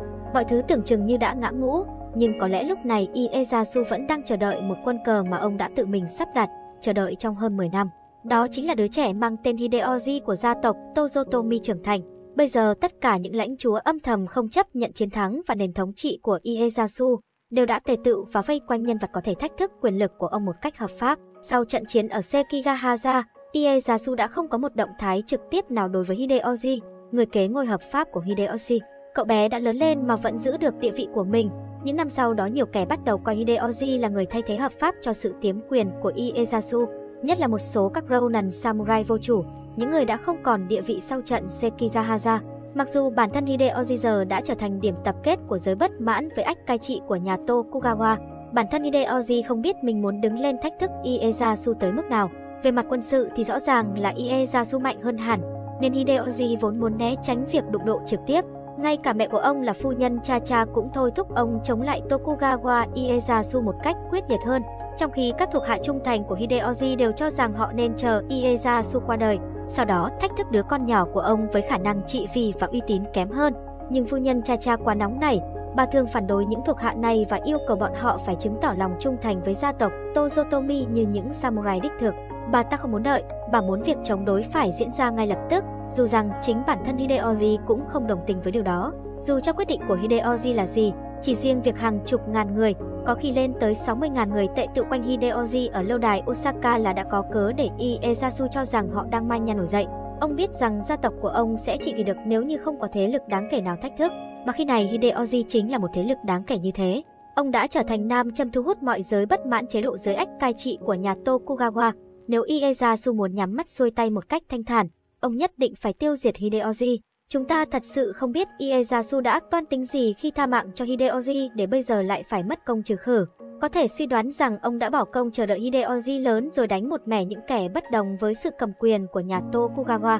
Nhưng cũng có thể đó là một cử chỉ tỏ sự nhân nghĩa, trung thành để khuất phục những tôi chung với Hideyoshi đã theo phe đồng quân khi đó. Bây giờ khi đã cùng cố vững chắc quyền lực từ chính trị cho đến quân sự, Việc tiêu diệt Hideyori chỉ là vì bất khả kháng khi các phe cánh chống đối tề tự quanh Hideyoshi và âm mưu phá vỡ nền hòa bình của Nhật Bản. Dù sao đi chăng nữa, Ieyasu đã điều động tới gần 200.000 quân đi vây hãm lâu đài Osaka, cùng những đồng minh tận trung, trong đó tất nhiên có cả độc nhãn Long Datema Samune. Hàng ngàn người đã phải bỏ mạng trong cuộc vây hãm pháo đài Osaka. Trận chiến diễn ra rất khốc liệt nhưng phe cố thủ đã kiên cường cầm cự. Tại đây cũng có một huyền thoại được ra đời đó chính là vòng đai phòng thủ mang tên Sanada Maru, Trận đánh vây thành Osaka thực tế Ieyasu đã suýt chút nữa bỏ mạng bởi một vị tướng tên là Sanada Nobushige. Trong trận đánh vây thành Osaka, có một vành đai phòng thủ nổi tiếng được gọi là Sanada Maru. Vành đai này đã bảo vệ thành Osaka trước sự tấn công vũ bão của tập đoàn quân khổng lồ phía nhà Tokugawa cùng các đồng minh. Nhưng rồi rốt cuộc, tháng 6 năm 1615 phòng tuyến đáng nể của lâu đài Osaka sụp đổ. Sau hàng tháng trời chiến đấu và vây hãm, những họng đại bác của quân Tokugawa đã dội mưa đạn xuống lâu đài Osaka, nhiều nơi trong lâu đài cháy rụi. Hideyoshi hẳn đã nhận ra rằng ngày tàn của mình đã tới. Ông đã trở thành con tốt của giới bất mãn với ách cai trị của nhà Tokugawa. Thực tế, ông đã bị lôi kéo vào một trận chiến không thể thắng, rõ ràng là có kháng cự nữa, cũng vô ích. Hideyoshi và mẹ của mình là phu nhân cha cha tự vẫn trong tòa thành Osaka rực cháy. Hai trận đánh vây thành Osaka kết thúc, giống như thể mọi năng lượng tồn dư cuối cùng của lò lửa chiến tranh Nhật Bản đã cháy rụi, hết nhiên liệu và chẳng còn gì nữa. Tất cả phải bị hủy diệt thì thời đại mới mới có thể bắt đầu. Nước Nhật đã tái sinh sau đống cho tàn và vươn lên với một vị thế đáng kinh ngạc, không còn gì để chiến đấu nữa, kẻ chiến thắng chính là người tồn tại cuối cùng. Gia tộc Tokugawa giờ đây nắm trọn quyền lực, tuy nhiên Ieyasu không được ngắm nhìn thành quả cuối cùng quá lâu, một năm sau ngày Osaka sụp đổ thì ông tạ thế.